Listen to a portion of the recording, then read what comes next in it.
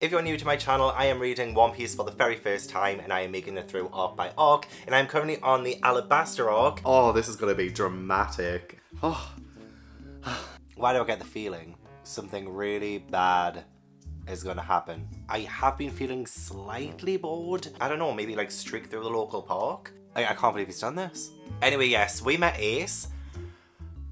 I mean, but that is just a gut-wrenching panel that I just watched there. Gut wrenching. It is tense up in here. There's a lot that is hitting me in this arc. I genuinely hope we don't have anything else that's going to traumatize me because I just can't be handling that right now. I need a closer spook. I don't think I've ever crushed on a manga character before in all my life like this. Right, I'm just gonna risk copyright to show you this, but this part gave me chills, absolute chills. Hello everyone, welcome or welcome back to How to Train Your Gavin. Today I am bringing you another One Piece video, and today and tomorrow actually that I'm filming this, I will be reading a very highly anticipated arc. A few weeks ago I asked what everyone's favourite Alabasta Saga arc is. A lot of people said the Alabasta arc, which is the final arc in the Alabasta Saga that I need to read. So I have just done Reverse Mountain, Whiskey Peak, Little Garden, and Drum Island. Have you ever played that game with someone where you go around and you say one item and then they say your item and then their item and then the next person says your item, their item, and then their own item and then you have to like go around and you know keep saying the items without forgetting? That's kind of what I want to do with these arcs. I want to see if I could try and remember all of the arcs in order and hopefully by the time I get to the final arc, or whatever arc is the most recent that I catch up to, I want to see if I can remember all of the arcs by memory. I feel like that's like a fun little challenge that I want to do, that I literally just thought of right now. So we have Romance Stone, Orange Town, Syrup Village, Barate? Is that the fourth one? Um, Baratie, what was after that again? Arlong Park, which is my favourite. The Log Town? I need to put this down. Uh, Reverse Mountain, Whiskey Peak, Little Garden, Drum Island. So that's 10. I have done 10 arcs so far, haven't I? Is that right? Hey, I got it right. I got it right. Okay, perfect. So now it's the Alabasta, Alabasta arc. If you're new to my channel, I am reading One Piece for the very first time and I am making it through arc by arc. And I'm currently on the Alabasta arc. So please no spoilers after this point. I have no idea what happens after this. And I have no idea what happens in this arc right now. But by the time this video goes up, I will have read this whole thing. I'm going to be reading volumes 17 through 24 of One Piece. and the Alabasta arc covers chapters 155 to 217 and this is the longest arc I've ever had to review in a single video. I mean, I did do the East Blue Saga in one video, and that's 100 chapters, but I didn't go chapter by chapter like I have been doing with the past few arcs. So we're going to see how we're going to do it with this one, because there are 63 chapters in this arc, and that would mean 64 updates, including this one.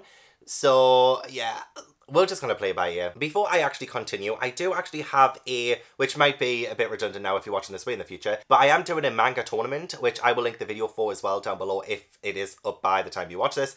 I am doing a manga tournament where I am reading the first volumes of eight different manga series that everyone's been recommending to me on my One Piece videos, on my channel, in the community tab, and I want to do like this whole tournament style battle between these eight mangas, but I have 20 amazing recommendations that a lot of people have submitted to me, so I currently have a preliminary round where the top 8 from the 20 in that poll will be chosen. So you guys have total control over what is, you know, going to be picked in the manga tournament. And I kind of was inspired by Daniel Greene who put out a poll for which manga series to do a deep dive on. So I took the poll inspiration from him, but I don't think anyone's done a manga tournament where they're facing off volumes of each manga to pick which next manga series to read. I don't think. I might be totally wrong. If somebody has got a video like that, please link it down below. I would love to watch it. But I do have a link to that poll down below, so please do vote. The more votes, the better. And I would really appreciate it. Thank you so much. Thank you. Anyway, I feel like this video is going to be like two to three hours long, so let's get into Alabasta. And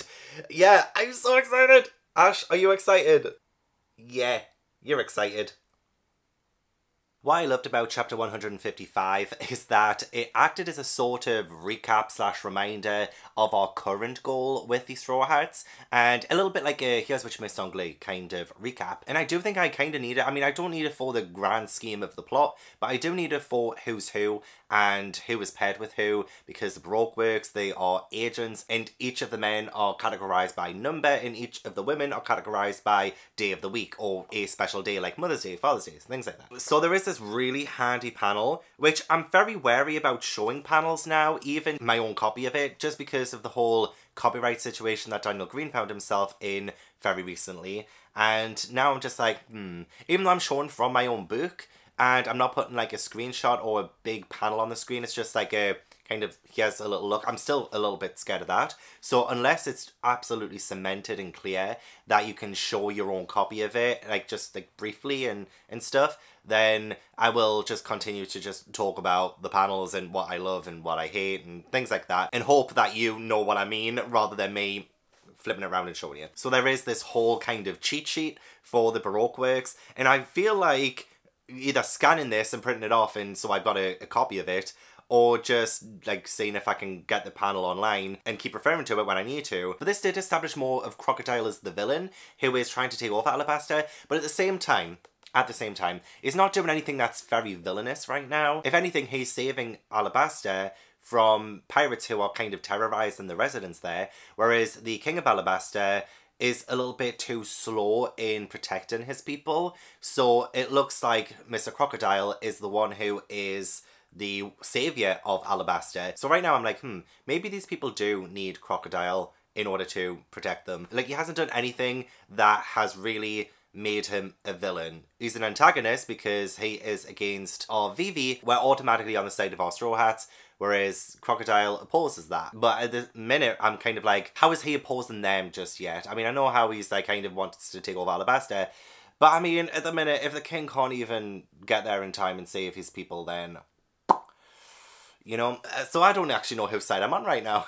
I'm sure he will do something a lot more evil as we go on, but right now he hasn't done anything bad to me. You know, you should never judge somebody based on what other people tell you. Honestly, you should always form your own opinions. And this is true in real life. Don't judge someone just based on other people's opinion of them. At the minute, I don't have a bad opinion on Crocodile. Even though he is the ultimate Baroque Works agent and he's the one controlling everyone, I'm still like, but he's saving these people in Alabasta right now. And I know it's for the purpose of taking over. He's not doing... Anyway, I'm conflicted. I'm conflicted. We only got little touches of the Straw Hats. We had Luffy eat pretty much all of the food, not all of the food though, pretty much all of the food that Sanji had collected to keep them, you know, going until Alabasta. And then there was a panel of Usopp, Chopper, and Carue as well. There was a panel of them equally guilty in the eaten in of the food. the eaten in.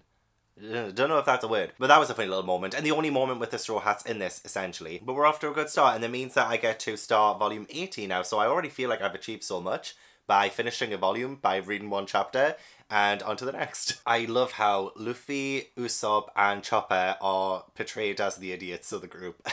it was funny at first because Luffy had attached Carue to his fishing rod so that they can try and catch some fish, and they end up catching Mr. Two, who is Bon Clay, and like that whole exchange was like so random and so hilarious.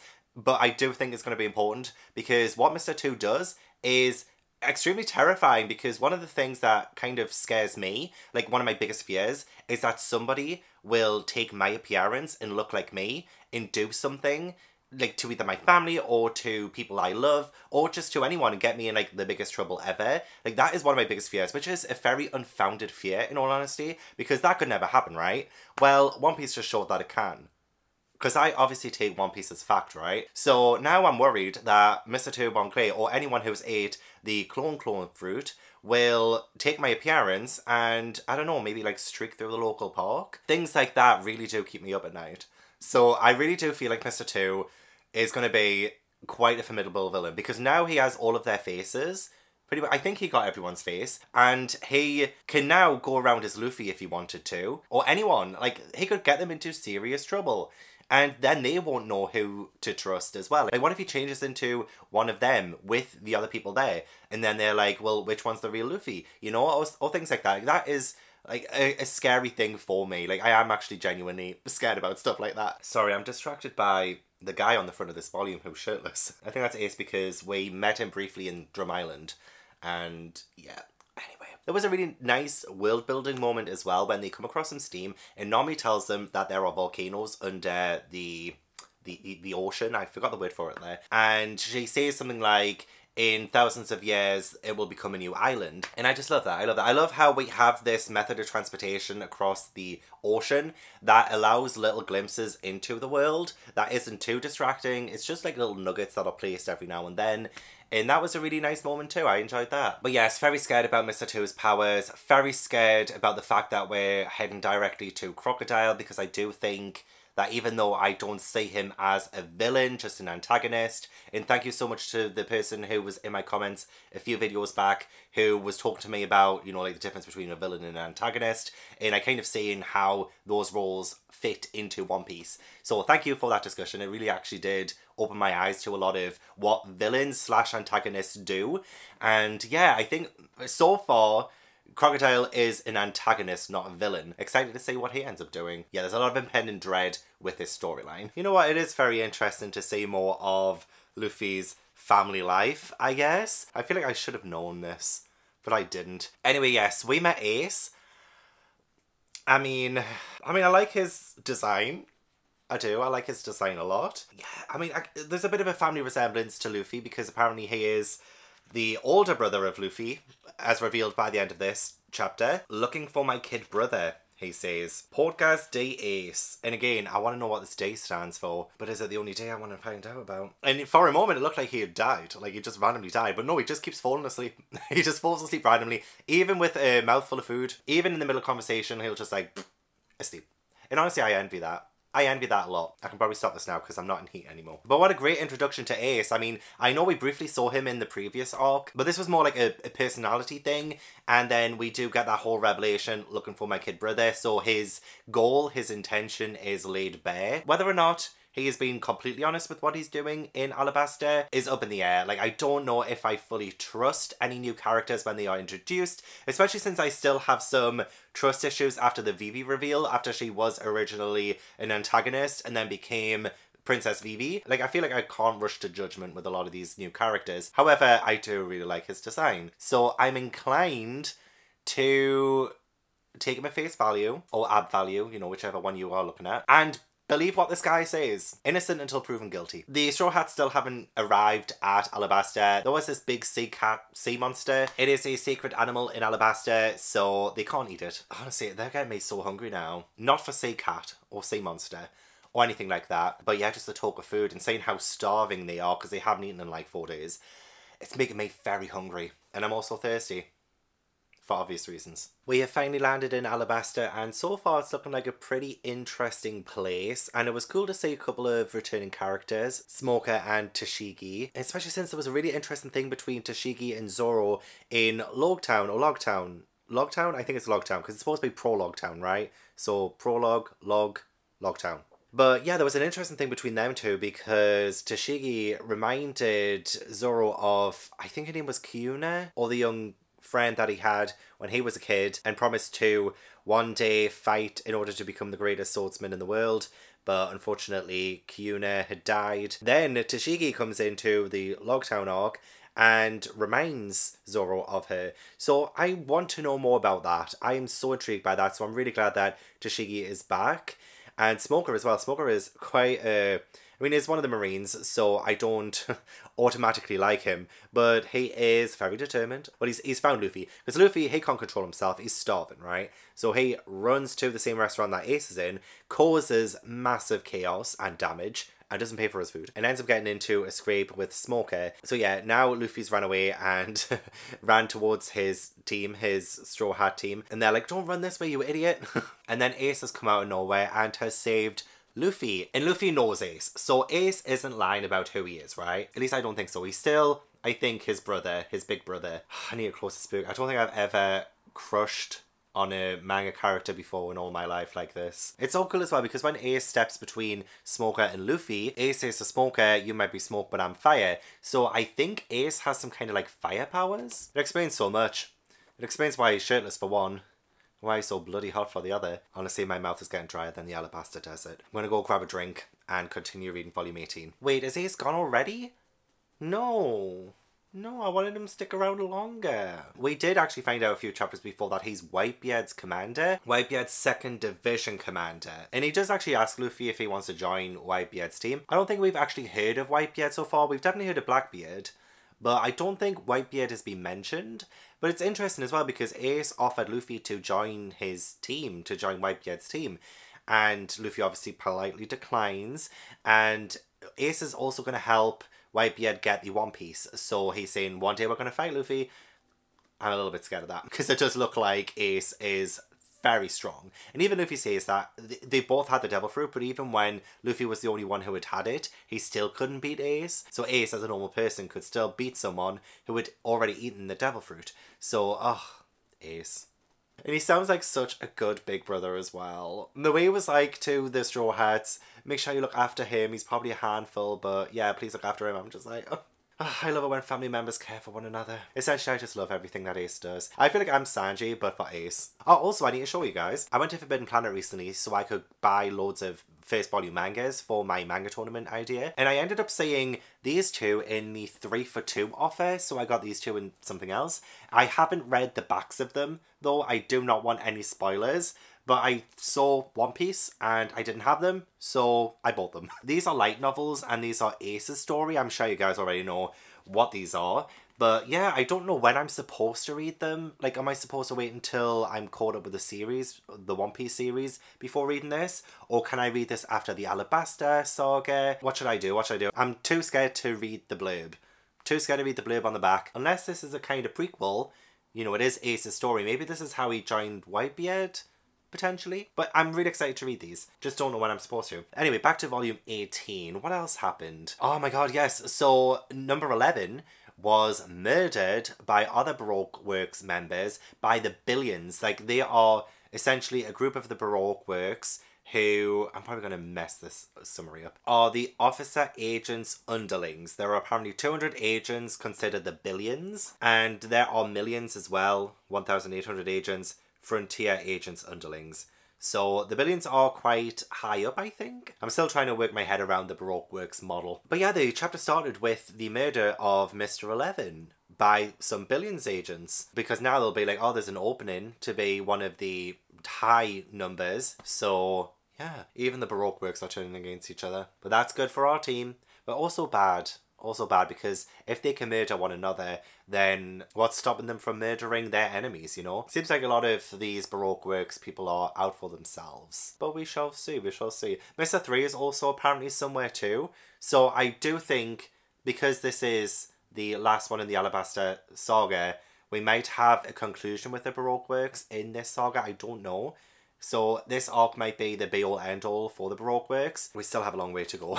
a strange chapter indeed, and I already miss Ace. It's cool to see that the Baroque works agents are kind of coming together and I think they're about to meet Mr. Zero, aka Crocodile, and they're gearing up for some kind of showdown or some kind of plan that's happening in two days' time, which Crocodile and Miss All Sunday talk about, and I want to see more of Miss All Sunday. I really like her. And I don't know why I'm gravitating towards her. I feel like she's just so nonchalant and she's just there. I feel like she's there but not quite there, you know? I don't know, she has a certain more likability to the other agents that we've been introduced to. We have met Mr. One, who again has a I love the designs of the Baroque Works agents, don't get me wrong. They are so unique and so different. Mr. One, Miss Double Finger, Mr. Four, and Miss Merry Christmas. when she started to say ho ho ho Merry Christmas, I genuinely thought that maybe we were on Christmas time in this arc. And it's very apt because we do have Christmas just around the corner, less than a month away as of filming this video. But yeah, the Baroque Works are meeting at this Spider Cafe. The agents have kind of booked the cafe out for the night in order to talk through their plans. I don't know what their meeting is going to be about. I think maybe that's what the next chapter might delve into. I like how Mr. Two's introduction into this cafe is a little bit different to others as well he kind of like dances in with some of the Billions members, and it kind of reminds me of the Jango cover titles, cover covers, uh, where Jango is pretty much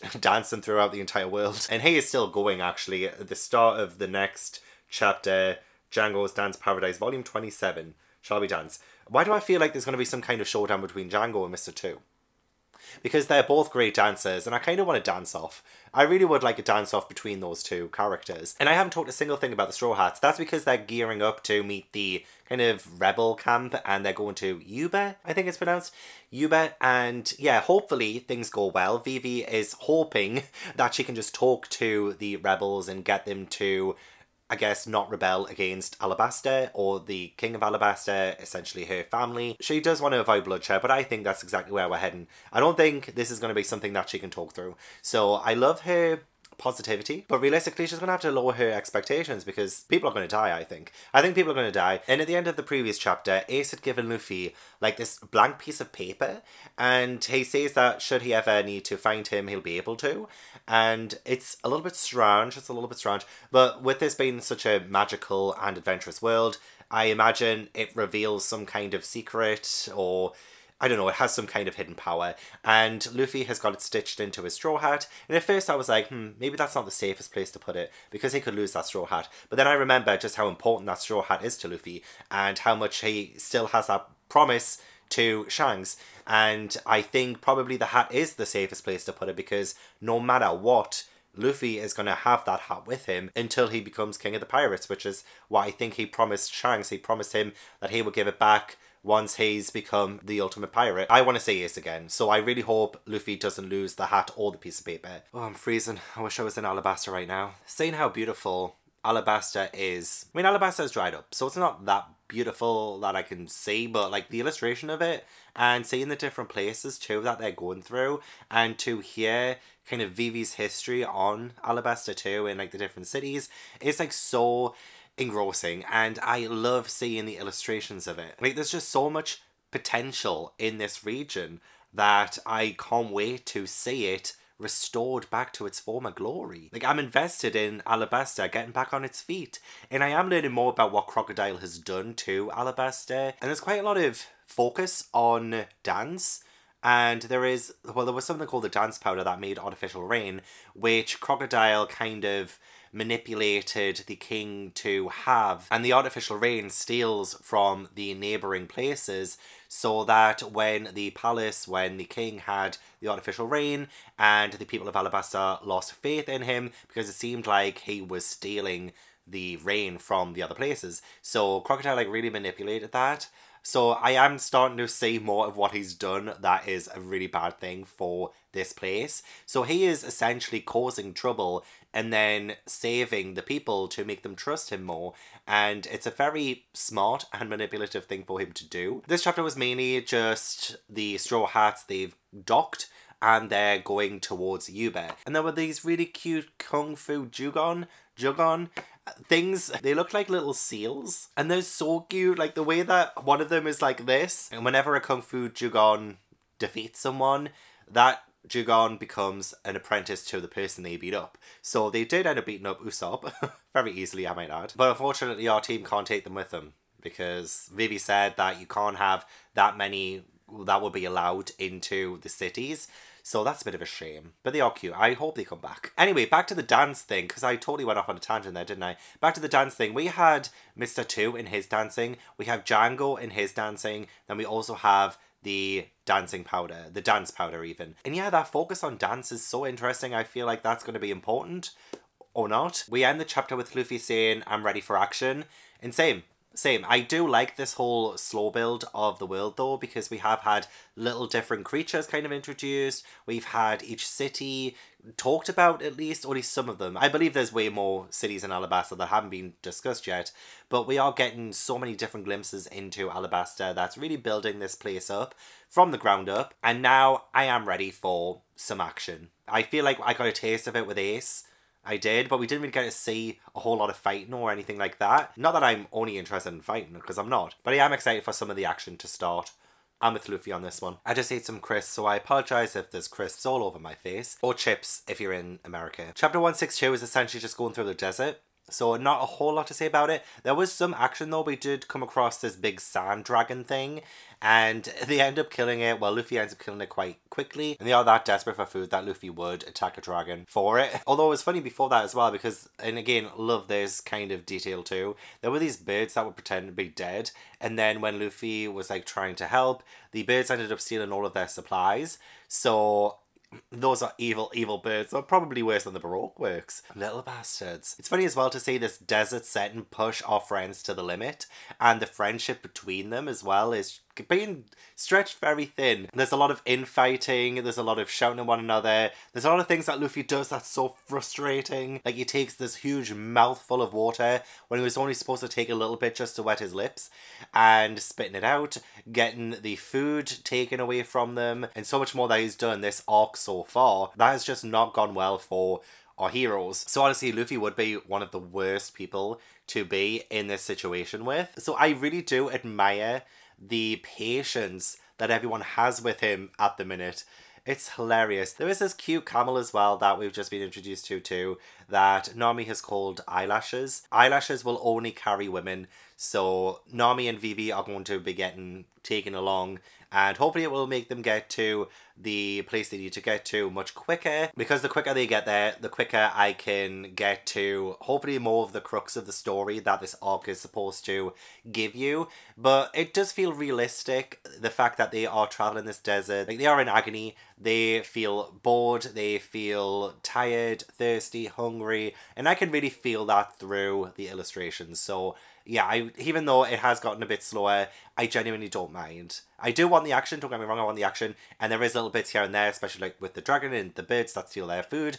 But yeah, it'll be cool to see them get to Yuba and interact with a whole lot of other characters. And hopefully Ace comes back. Oh my god, I should really say this for the next chapter because it's the title page for chapter 164. Jango, he got caught by the Navy and the headquarters trial verdict is death by hanging.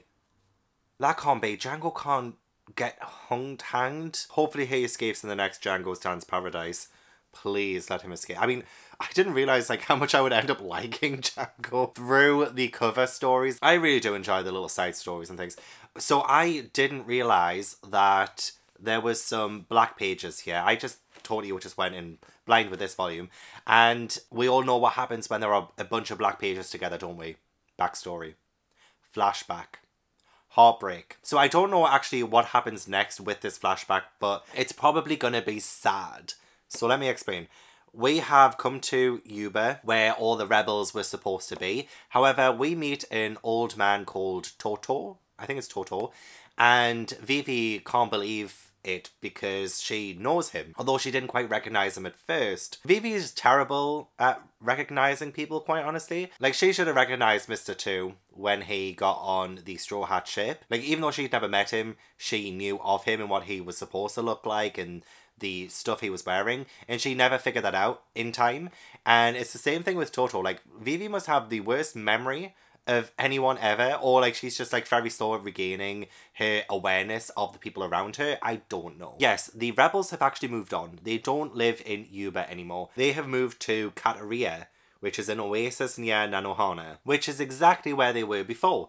So they've gone all this way for, well, it seems like no reason, but I feel like it will have been an important journey for them. I think there will still be something probably this heartbreaking backstory that will be vital to the Straw Hats and their fight against the Baroque works, potentially the fight against the rebels. I don't know if they're actually going to fight but something tells me there will be a fight. So it sounds like it might be a wasted journey, but I don't think it is. So the flashback, the, the backstory is Vivi as a child. There is a young boy called Koza who is Toto's son, and he has caused some trouble. He's before the king, and Koza is saying about how the villagers are suffering and things, so the king wants to cut some finances towards the palace so that that money can kind of stem into the peasants of Alabasta and hopefully help them. And Vivi is, uh, well, she ends up becoming a friend to Koza, and there is like some fight between them, and she's like his second in command and stuff. And at the end of this chapter, there are a couple of people who are after Vivi, and Koza tells her to run. And since Toto is by himself, since Toto is by himself, in Yuba, something's going to happen to Koza. Something heartbreaking is going to happen to Koza. I just know it. I just know it. I don't know if I'm ready. Chapter 164 I Love My Country. Why do I get the feeling? Something really bad is going to happen. Yet, not going to lie, I genuinely thought Koza was going to die.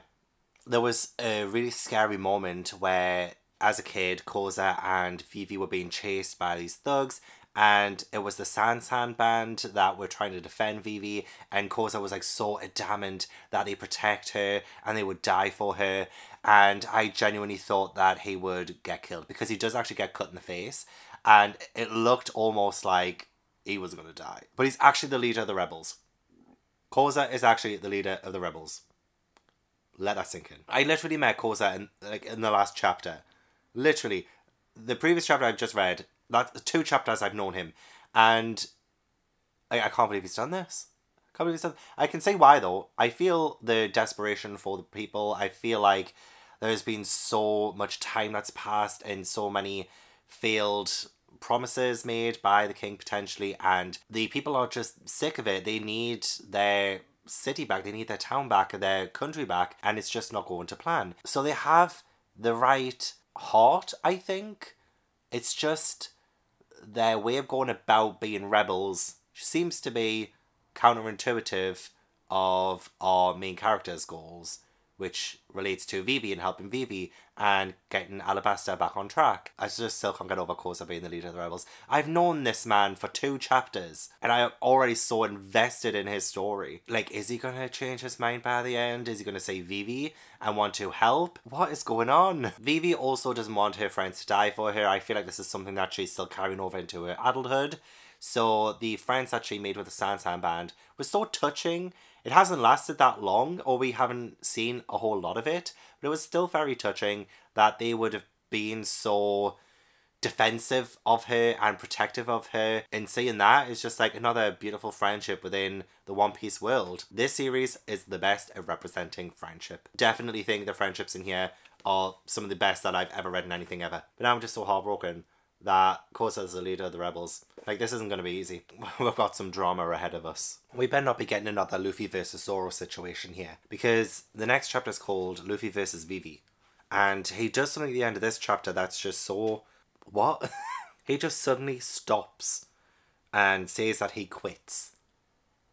And I feel like Luffy versus Vivi means that Vivi will fight him because he's given up but I don't understand why Luffy would do that, so I need to read on and find out. Anyway, jumping ahead. This chapter was so pivotal because we find out the ultimate goal of Baroque Works. The agents that are here in Rainbase, the City of Dreams, Rain Dinner's Casino. Reminds me a little bit of Ni no Kuni, which is a game I played years and years and years ago that I absolutely love, by the way. I love Ni no Kuni so much. And it seems like maybe Ni no Kuni took some inspiration from One Piece. Like, every single thing that I've ever mentioned has been an inspiration from One Piece. But yeah, this is the first time that Mr. Zero has revealed himself to be Crocodile to the others. So now they know that one of the seven pirate warlords is their boss, essentially. And they had no idea it would be a pirate. The ultimate goal is Operation Utopia, where they want Alabasta to disappear how, I do not know. But then they will get the residents of Alabasta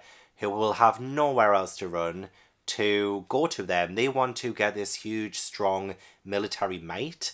They are just essentially trying to build their numbers up so much that no force will be able to stop them. And that is a great plan. That is a great plan. If it works, of course. But the fact that they want the entire city, the entire island of Alabasta to disappear, it will be a challenge. It'll be interesting to see if they actually do it. So there are the rebels who are the problem. We have Baroque Works who are the problem. There's just a lot of stuff going on in the minute, and now apparently Luffy's the problem because apparently he quits. I'm scared to read the next chapter. I don't want to be another Luffy versus Zoro situation. I really don't. This isn't another case of Luffy acting out character. Okay, fortunately it wasn't like Luffy versus Zoro because that would have pissed me off if it had have. I mean, it still feels a little random, but at the same time, Luffy does say a lot of things that we were thinking. Because I believe I did mention a couple of times earlier on in this vlog that Vivi wanting no bloodshed, no fighting with this confrontation with the rebels is rather naive. We love her positive outlook on it, but we all know where it's headed, and that's exactly what Luffy says. He does go about it in a rather dramatic kind of fashion by just stopping and saying he quits. Like he could literally just say what he was thinking. However, this is Luffy, so he is unpredictable. He is his own thing, so I can't really fault him too much for that. But yeah, it didn't feel like Luffy versus Zoro, so that's fine. And it didn't last that long. It did have Luffy making a whole lot of sense about let's go after Crocodile. He's the one who is causing all the trouble,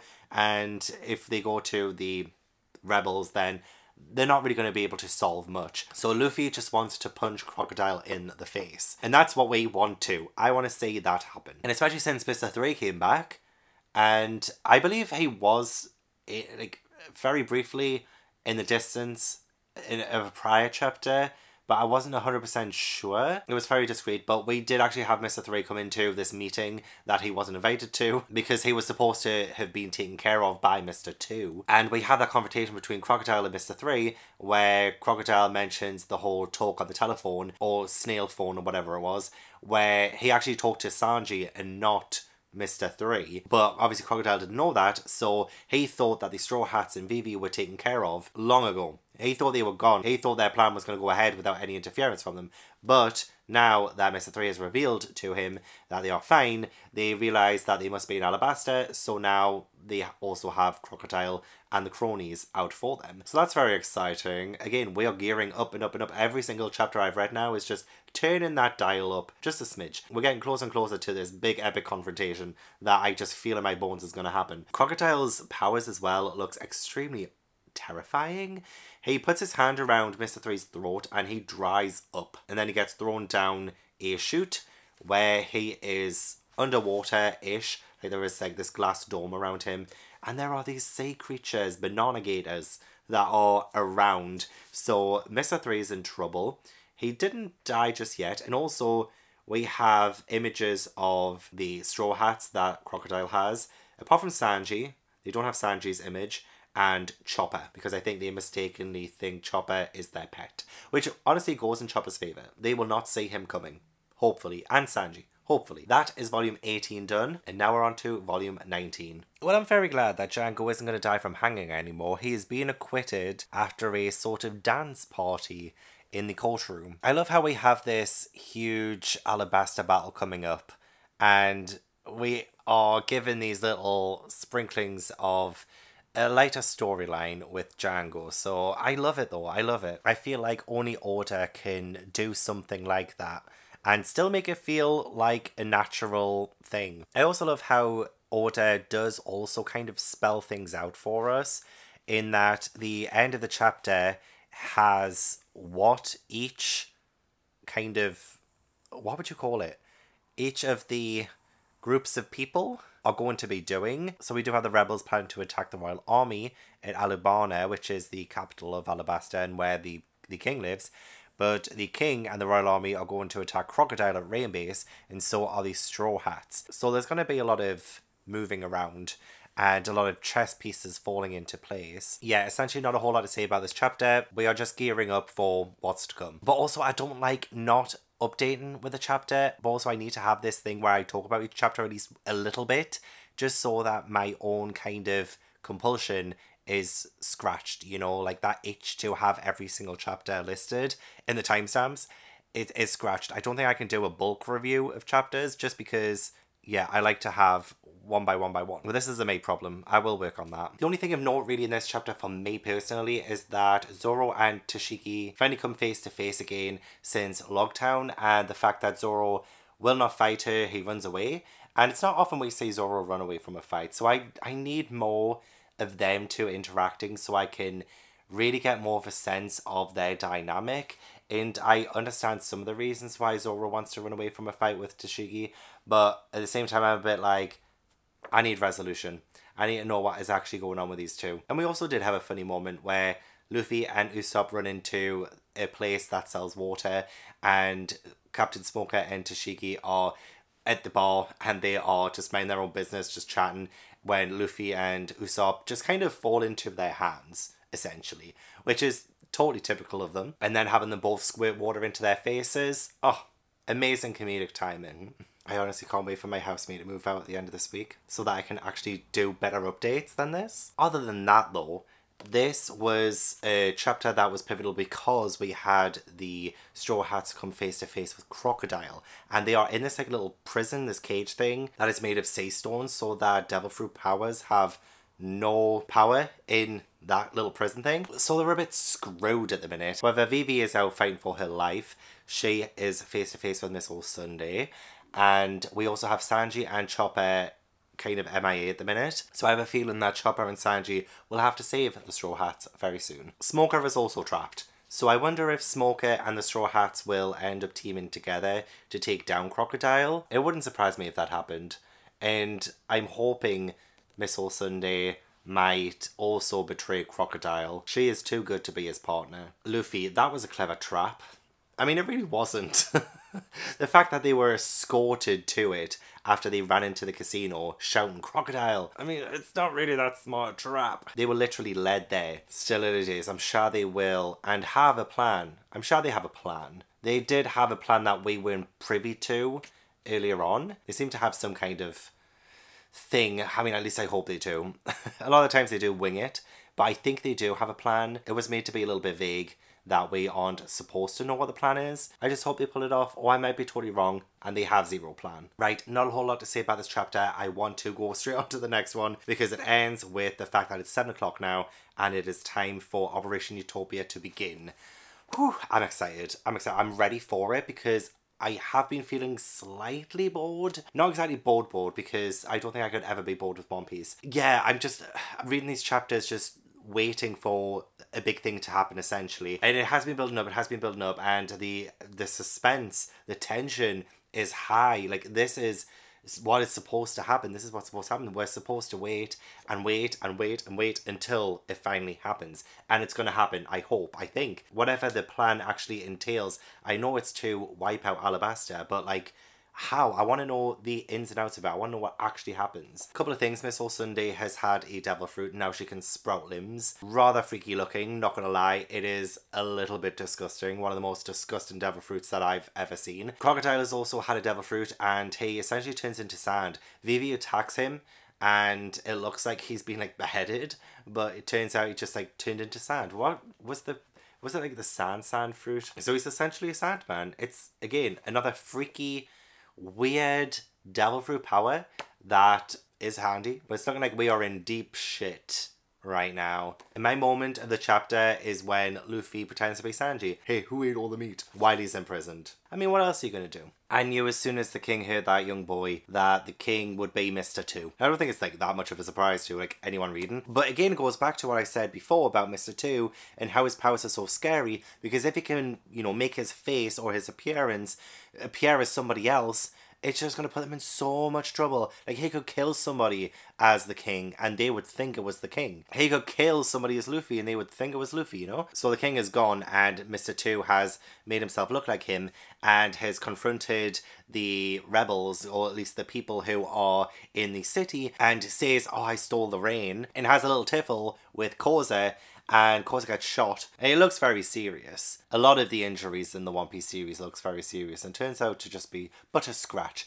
Tis but a scratch. So I believe Koza will be absolutely fine, but the operation is in full swing. We have the other operatives in the Baroque works, just swanning in. I kind of love the pairing of Mr. One and Miss Doublefinger. There's something about them. They seem just rather calm, but also really scary looking. Don't get me wrong, they will F you up, but they'll sit down and have a coffee after they beat US. I think my favourite part of this chapter was the actual cover story and seeing Jango join the Marines. Yeah, that was a turn of events nobody really expected, at least I didn't expect. And also, I think we saw Koby as well in the background of that. He was walking away, he was on the side, so it might not have been him, but he does look a little bit different. And I think Helmeppo as well was with him. But all hell is breaking loose essentially in Nanohana. People are very much against the king now. I think it was the final straw that broke the camel's back. Is that the saying? In order for the people of Alabasta to revolt against the king. Even though there have been a lot of people a lot of times saying, oh, you know, we still believe in the king, we still think he's going to do the best thing for us. I think now that Mr. 2 has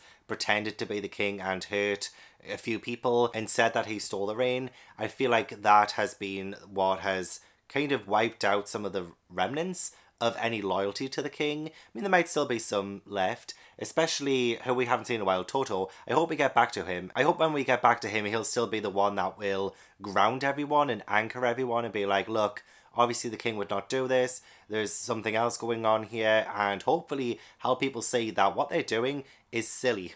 All this revolting is detracting from the actual enemy. So I really do like how manipulative and cruel and vindictive Crocodile is because he has also just thrown the key to the cage that the Straw Hats are in down into the place where he also threw Mr. 3 down. So Vivi will have to go after it and get it in order to save the Straw Hats. But I don't think Crocodile will let that happened that easily. I am enjoying it again. Like I was getting a little bit like, hmm, I'm a little bit unsure. I'm not really sure about politics of places, and it feels a little bit heavy in the politics of Alabasta.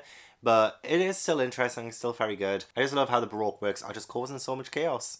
I feel like I should join them. I also love causing chaos. There's a huge part of me that wants Vivi to kick Crocodile's ass because he is very cocky and confident that he will get away with what he's doing. He's making Vivi feel powerless, and that kind of antagonist is very infuriating, but like I love it. Like, what he's doing is awful. He's making Vivi pick between the Straw Hats and well the entire country of Alabasta. And she's caught between a rock and a hard place because she doesn't know what to do and she can't really save the Straw Hats just by herself because of the fact that a crocodile, or at least like one of the banana gators, has ate the key. And how's Vivi supposed to get it from inside of them? All hope is not lost though, because this chapter does end with a call from Sa- I, I think it's Sanji because it reminds me of the phone call that happened between Sanji and Crocodile on I think it was a Little Garden. So all hope is not yet lost because we still have Sanji and Chopper who will hopefully come and help Vivi out. But we will see if it is actually Sanji who calls at the end. Oh, also the room is flooding, by the way. In one hour the entire room will be flooded and the Straw Hats will die. And it'll probably be around about eight hours for the rebels to catch up with the king and cause absolute carnage. So there's a lot going on. A lot going on in the minute. So show me the way, princess. Ah! Oh my gosh. Yes. Okay, we have Sanji back and he is calling himself the prince because he's actually smart. He's one of the smart characters in this. He does have his silly moments, of course, but he has a few functioning brain cells. So yeah, he has told Crocodile he is Prince, Mr. Prince, and it goes back to an earlier chapter where he pretty much says he is Prince Charming.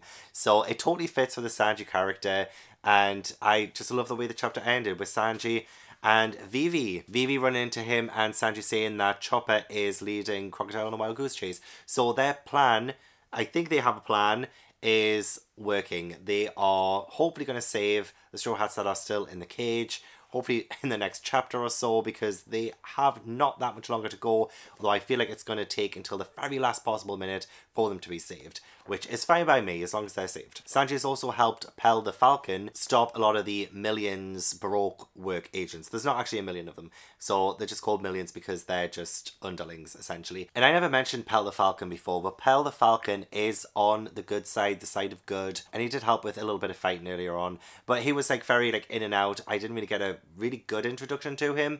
I didn't really get to see too much of what he does. I'm interested to find out more about him, honestly. I wouldn't mind some backstory there. Okay, I'm a little confused. Although, hang on, I'm, firstly, I'm loving this chapter again. Like, I love when Sanji came back and whipped some table manners into those banana gators. Also, I absolutely love Sanji in glasses.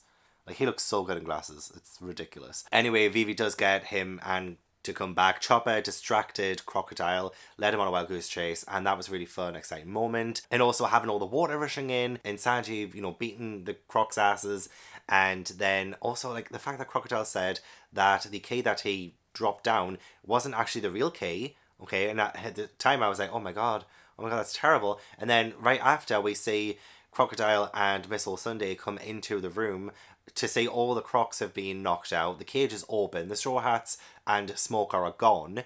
I'm just like, how? If that key didn't work, or it wasn't really the right key, then how how have they escaped? Like that's interesting. How? I'm so confused. But also, I'm so glad they're finding out. I really am. And I love Mr. Prince. See you later, crap gator. Oh, yes. Like, just when it seems like the Straw Hats were down on their luck and it looked like they were losing, they quickly change it around. And now they're in the lead. They're in the lead. They're winning against Croc at the minute at the minute. But all I wanted to say about this chapter was just that I absolutely adored Sanji like this was Sanji's time to shine. Like his leg is incredible. Like he has good leg. He has a very good leg. Is this gonna be a video of me thirsting over all of the One Piece characters? Like this needs to stop. Okay, it makes sense that Mr. 3 would save himself by encasing him in a ball of wax as he was ate by one of those banana gators. So that would make sense. For a minute, a hot minute, I thought maybe Miss Sunday had betrayed Zero slash Crocodile because I thought maybe she switched the fake key for the real key so that Crocodile thought he had the fake key when he threw it down into the banana gator pit. And so when they came back and they saw that they'd escaped it was because they actually had the real key even though crocodile said it was the fake key. Anyway that was more convoluted than what actually happened.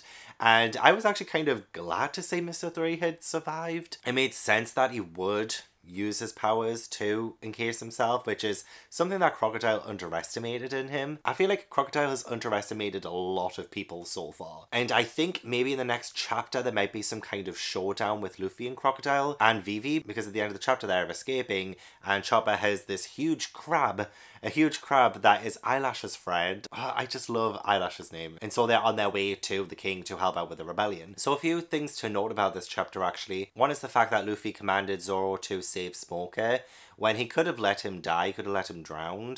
And that would have probably solved a lot of issues further down the line since Smoker is against the pirates just because of his job essentially. I do feel like Smoker could be a great ally to the Straw Hats and he potentially could in the future maybe because now Smoker has let them go and that's kind of his way of repaying Luffy for commanding Zoro to save his life. So that was really good and it does go back to like say on Drum Island when Luffy doesn't kill the weird killer rabbits. Uh, I can't remember what they were called, but he does end up sort of saving them and in turn they save him. So again it's that idea of doing a good deed and having that come back as good karma. Another moment I loved as well is when the gang are all out from the cage when they were about to die from the banana gators and Luffy ends up like knocking some of them out and Luffy and I think it's Mr. 3 I, I think it is because obviously both of them have had devil fruit and Vivi says and I couldn't even handle one of them and Usopp's like it's okay those two aren't normal just hilarious I like that bit okay so I finished volume 19 now we're on to volume 20 which has this nice gold foil on it. I like that. So Mrs. All Sunday's name is actually Nico Robin. I don't know what that means. I don't know if I'm supposed to know what that means. But yeah, Nico Robin. I think I pronounced that right. And I feel like the Alabasta arc is going to give us so much more to her backstory and we're going to learn so much more about her too. It just seems like there's a lot of focus on her at the minute. And I really wanted to find out more about her, honestly, for however many arcs she's been in now, ever since we first got introduced to her, she's always kind of piqued my interest. The fight between Luffy and Crocodile is kind of just a whole lot of not a whole lot because every time Luffy hits him, he turns into sand, and it's just like. I feel like Luffy's intentionally annoying him and annoying him and annoying him, which is a great thing because I feel like when Crocodile loses control, maybe that will be an in for Luffy. It almost feels like, and I only mention this because I watched the episode the other day, but in the Pokemon episode, when the two Metapods are fighting one another and they both just use Harden for the fight, that's kind of what it feels like between Crocodile and Luffy right now because it just feels like neither of them are winning or losing. It, yeah, I don't know. I don't know what's going to turn the tables, but I think Crocodile losing his shit might be the one that turns the tables in Luffy's favor hopefully. I do like making these kind of predictions and then finding out in the next chapter that I'm totally wrong. So I hope you also love that because there's nothing I love more than being proven wrong. Well, shit just got real. That panel of Crocodile impaling Luffy with his hook. Oh, oh, oh, that hurt. What we need is for Ace to come back, is what we need. That's what we'd be missing. That's what we need to win this fight. We need Ace. I mean, I thought Luffy's intention was to make Crocodile mad, so that he would react irrationally and then Luffy could beat him. But that's that's not what's happening. Luffy is trying his best to stop Crocodile, but he just can't do it. Crocodile's powers are just too strong and he's in a desert. And he had the sand sand fruit, I think it was called again. And he has all of this power. And Luffy is just absolutely powerless against him in the desert. There's just no way. There's nothing I can think of that will stop him. And the scariest part Crocodile's power as well is when he can like mummify you because the sand takes all the moisture and stuff. And then Luffy does have the water that Toto has from Yuba. So that saves him again coming back to other things that happened in previous chapters that have came back and helped Luffy. But I don't know how much it's going to help because now Crocodile has sent a sandstorm to Toto and Yuba and it's just gonna get worse. And now Luffy's been impaled. Oh, would you look at that? I've been impaled. But that is just a gut wrenching panel that I just watched there. Gut wrenching. So now what's going to happen to Toto? Is he going to be the one to die? We did have the Doctor's death in Drum Island that absolutely tore me apart. We cannot have another one of those moments. I really don't want to repeat of that. That speech. Oh, but Crocodile's powers are fantastic. I absolutely love them. As much as I want him to stop, I can't stop being in awe of the things he can do. Just, oh, quicksand, splitting the desert in half, just pff, really cool powers. Really cool antagonist. I feel like a lot of these chapters are build up and build up and build up and build up, and then we finally get the thing we need with the little bits sprinkled out throughout. So in the previous chapter, we did have the fight between Luffy and Crocodile, which ended in Luffy being impaled. This one is this sort of immediate aftermath after that, with Luffy, he's still alive but barely, and he is still in trouble. I feel like this entire chapter was kind of like thinned out so that we can still get that tension and that kind of rhythm towards this big battle that's happening happening at Alubarna. We will get there eventually. I'm just waiting for that to to sort of kick in. Not really a whole lot to say about this chapter, so I'm just gonna move on. I love how in the question corner, Oda replies to a question, well, I, more of a comment really. A girl has said, a friend said to me, you're a girl, why are you reading Shonen Jump? So I said, why shouldn't a girl read Shonen Jump? Is it against the law? I was a boy in my previous life, probably. And I've only just started to become familiar with different terminology in manga, so I didn't realize that there was. I mean, I know like Shonen Jump, I thought maybe that was a publisher, which it is. Shonen Jump is a boys' magazine, so really it is catered towards boys more. Whereas there are ones that are for girls. I don't really know the word for it. Is it shoujo or something like that? I am really slowly starting to understand manga terms, so I apologize for my obliviousness. I'm like Luffy when it comes to manga, I'm a little bit clueless. But I love Oda's response saying, as long as they understand a boy's fiery spirit, boys, girls, all guys and all ladies are all welcome, darn it. So yeah, it doesn't matter if you're a girl or a boy or non-binary, it doesn't matter at all. As long as you're enjoying what you're reading, then read it. And I love that. I love that so much. Oh, there were so many yes moments during this chapter as well. This chapter was just. Mm. I understand now why I'm feeling so uncomfortable. Not exactly uncomfortable. Um, you know how before I said I was like getting a little bored or something with the whole lead up to something that's happening in the future? I understand because liminal zones make me feel very uncomfortable. And I think the whole time between declaring this kind of war with the king, for instance, by the rebels, to something actually happening with that, and same with the Baroque works and their plan and the time it takes to get to that. The liminal zone in between makes me uncomfortable. I mean, the suspense is fantastic and it's very exciting, but I do think I have a big fear. Again, like so many fears are coming out.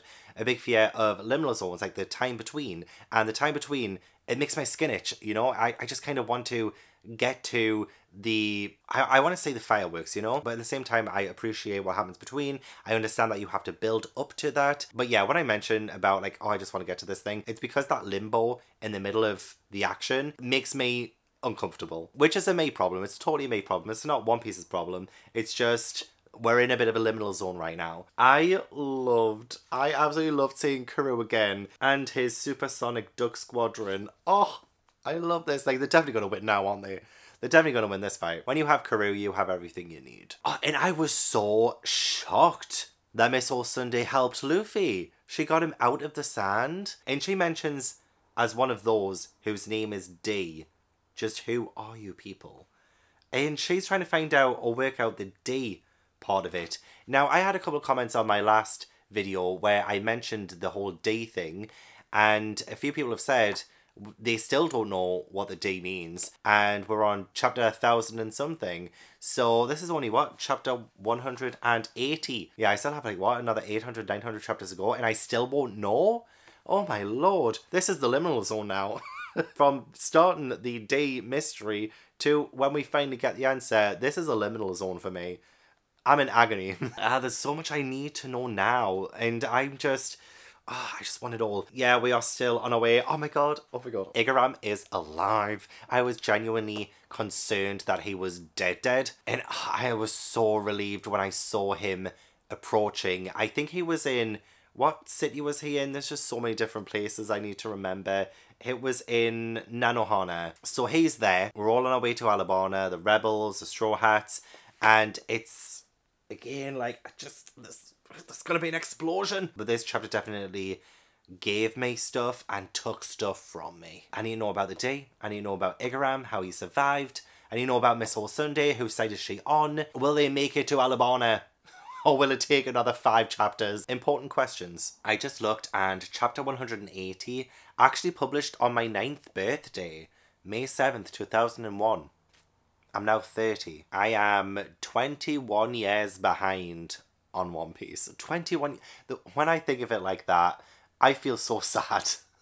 I'm so behind. But this was a great chapter actually. I loved the fact that we saw some of the Straw Hats have this strategy of using like decoys and leading like Mr. One, Mr. Four, Miss Doublefinger, and Miss Merry Christmas away from the main gates and confusing them about which one is Vivi. So they do have like their own disguises, and it was funny as well because Eyelashes was in on that plan. And poor Eyelashes, Eyelashes looked like they were crying. They did. I, I want to show you the panel so bad, but again, I'm a little bit wary about showing panels now Oh, poor eyelashes though, they look scared. Whereas Nami's sticking her tongue out, Usopp has one finger in his eye, Zoro looks mischievous as usual. But it's great to see them have this really strong plan that works, that actually works, and to see them have this small victory in this small little battle there. These supersonic ducks I think might be my favourite creatures. I probably say this a lot about different creatures I'm introduced to in One Piece, but I think the supersonic ducks just, oh, slide straight into first place for me. So useful, and it's also Carue's time to shine too. Ah, it was a crazy chapter, and I loved every minute of it.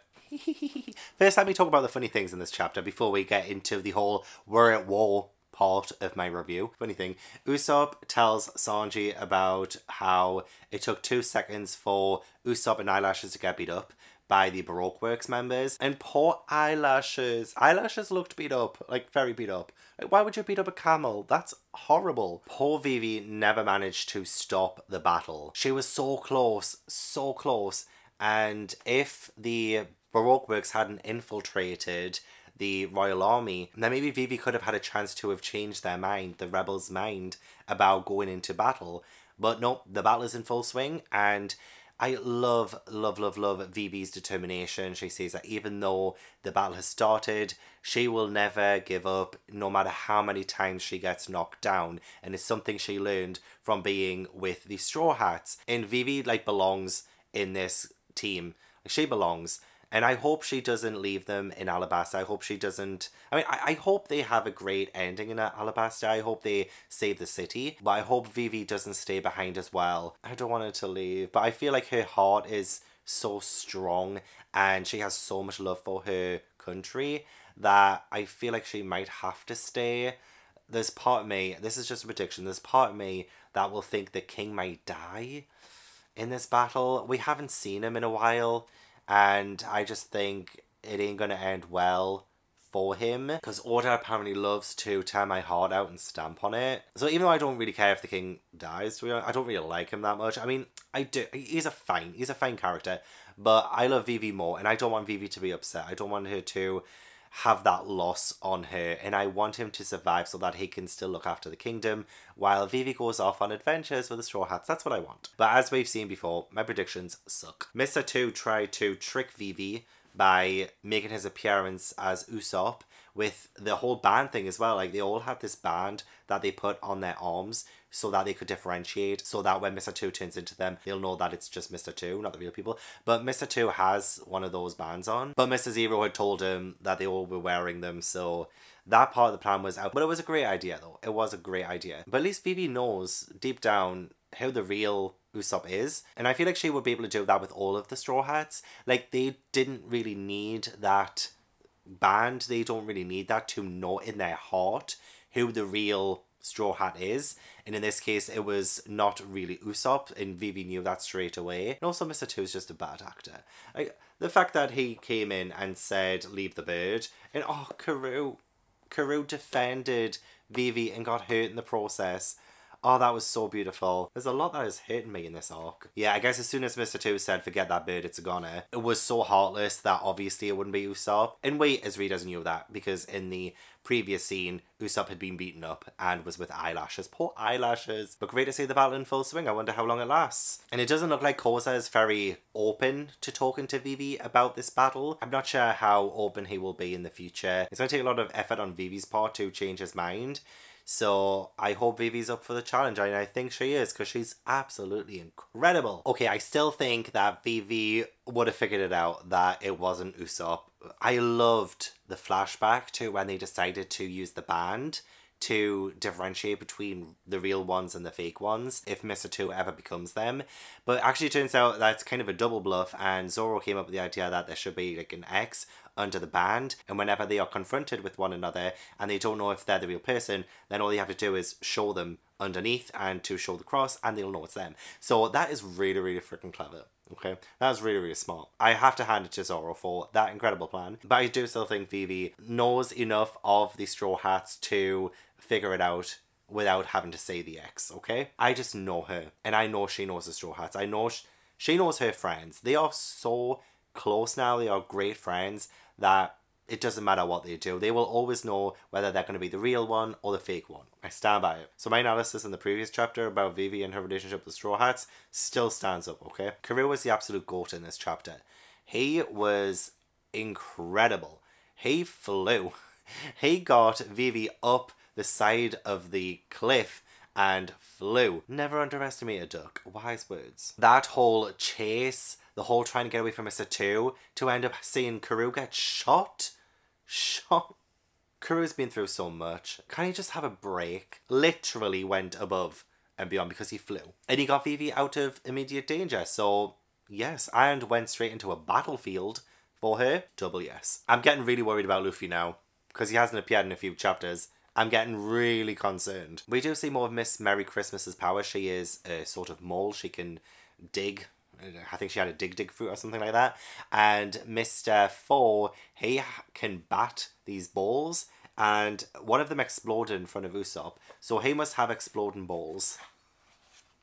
Uh, we have boogie balls and we have exploding balls from Mr. Four. Apparently he's a cleanup hitter. I hope Usopp's okay as well. I mean, that looked like it hurt. Yes, Captain Usopp. We really have to push Usopp into fighting back sometimes. He does take quite a clobbering to begin with. And I like the team of Usopp and Chopper in the almost comedic duo of Mr. Four and Miss Merry Christmas, which that name. I never ever thought I would say there would be a villain in something I enjoy where a villain or antagonist is called Miss Merry Christmas. I just never thought those words would come out of my mouth. This chapter was pretty much Usopp and Chopper versus Mr. Four and Miss Merry Christmas. So it was quite fun to learn the tactics of each team and to see how Mr. Four uses Lasso, who is this big dog gun, and how they work and the whole hitting the ball thing and the timer going off and the balls exploding. Very interesting stuff. And then Miss Merry Christmas as well turns into a mole. Like she actually transforms into a mole. I just thought she had mole powers, so she could just burrow. She didn't have to turn into a mole. But oh no, she transforms into a mole. Even though Usopp was like a penguin. It's also so weird that inanimate objects can eat devil fruits as well. How? How? That's insane to me. But a dog gun is. I thought I've seen it all and then another chapter of One Piece comes along and it gets even crazier. And I'm like, okay, I haven't seen it all. I don't think I will ever see it all. but I'm hoping Usopp and Chopper beat Mr. Four and Miss Merry Christmas to the ground. Okay, it was obvious that Usopp wouldn't have a five ton hammer. However, he did get me for a second. I mean, Usopp has such a knack and talent for lying that he can even make me believe him sometimes. and the fact that Chopper was so gullible enough as well. I mean, I say Chopper was gullible, I'm gullible, but the fact that Chopper was nodding along like, wow, incredible, was it sold the show. And that's what Usopp is. He's a showman. He's a showman. And the plan was going pretty well for a little bit. And then obviously it falls apart because lies don't really have a big foundation. So that mache five ton hammer didn't last very long And that's fine, you know. Usopp lasted as long as he needed to. An incredible teamwork with Chopper too, and them using the balls or putting the dog's face down the hole, Chopper, by the way, and getting it to spit out the balls that explode in the mole tunnels because all of them are connected, which means Miss Merry Christmas is fucked. So I don't know if that's the end of them too, but it was a really good, interesting fight with them, had some comedic moments, had some serious moments. We had Usopp and Chopper using their strengths to their advantage, and it was a nice little little thing, you know. I'm still ready to find out what happened to Luffy and to also get back to Vivi, but it was good. Oh my god! Oh, like the sweetest. Oh my god, Usopp. Oh, how can you not like Usopp after this chapter? Honestly, like yes, he runs away. Yes, he's a coward every now and then. He lies a lot, but like oh, the way he stood up for Luffy when Miss Merry Christmas said that Luffy was dead, and she started laughing when Usopp said, "No, he can't be dead. He's gonna be king of the pirates." And like she laughs at Luffy's dream, and Usopp's like, "I will not stand for you laughing at my friend's dream. This is the time for me to fight." And he fight he does. Oh, that was so sweet. Ugh. Usopp isn't my favourite, okay, by any stretch of the imagination, but I absolutely adore him still. He is such a vital member of the team, and he keeps proving that time and time again. Loved it. And again, I love how Chopper helped out as well. Chopper has really proven himself, and it was a great battle and they won. It actually said at the end that they won. Because I was a little unsure at the end of the previous chapter, but no, it says Usopp and Chopper win the Battle of Alubarna's Southeast Gate. Oh, so they won, and I knew they would. I knew they would win.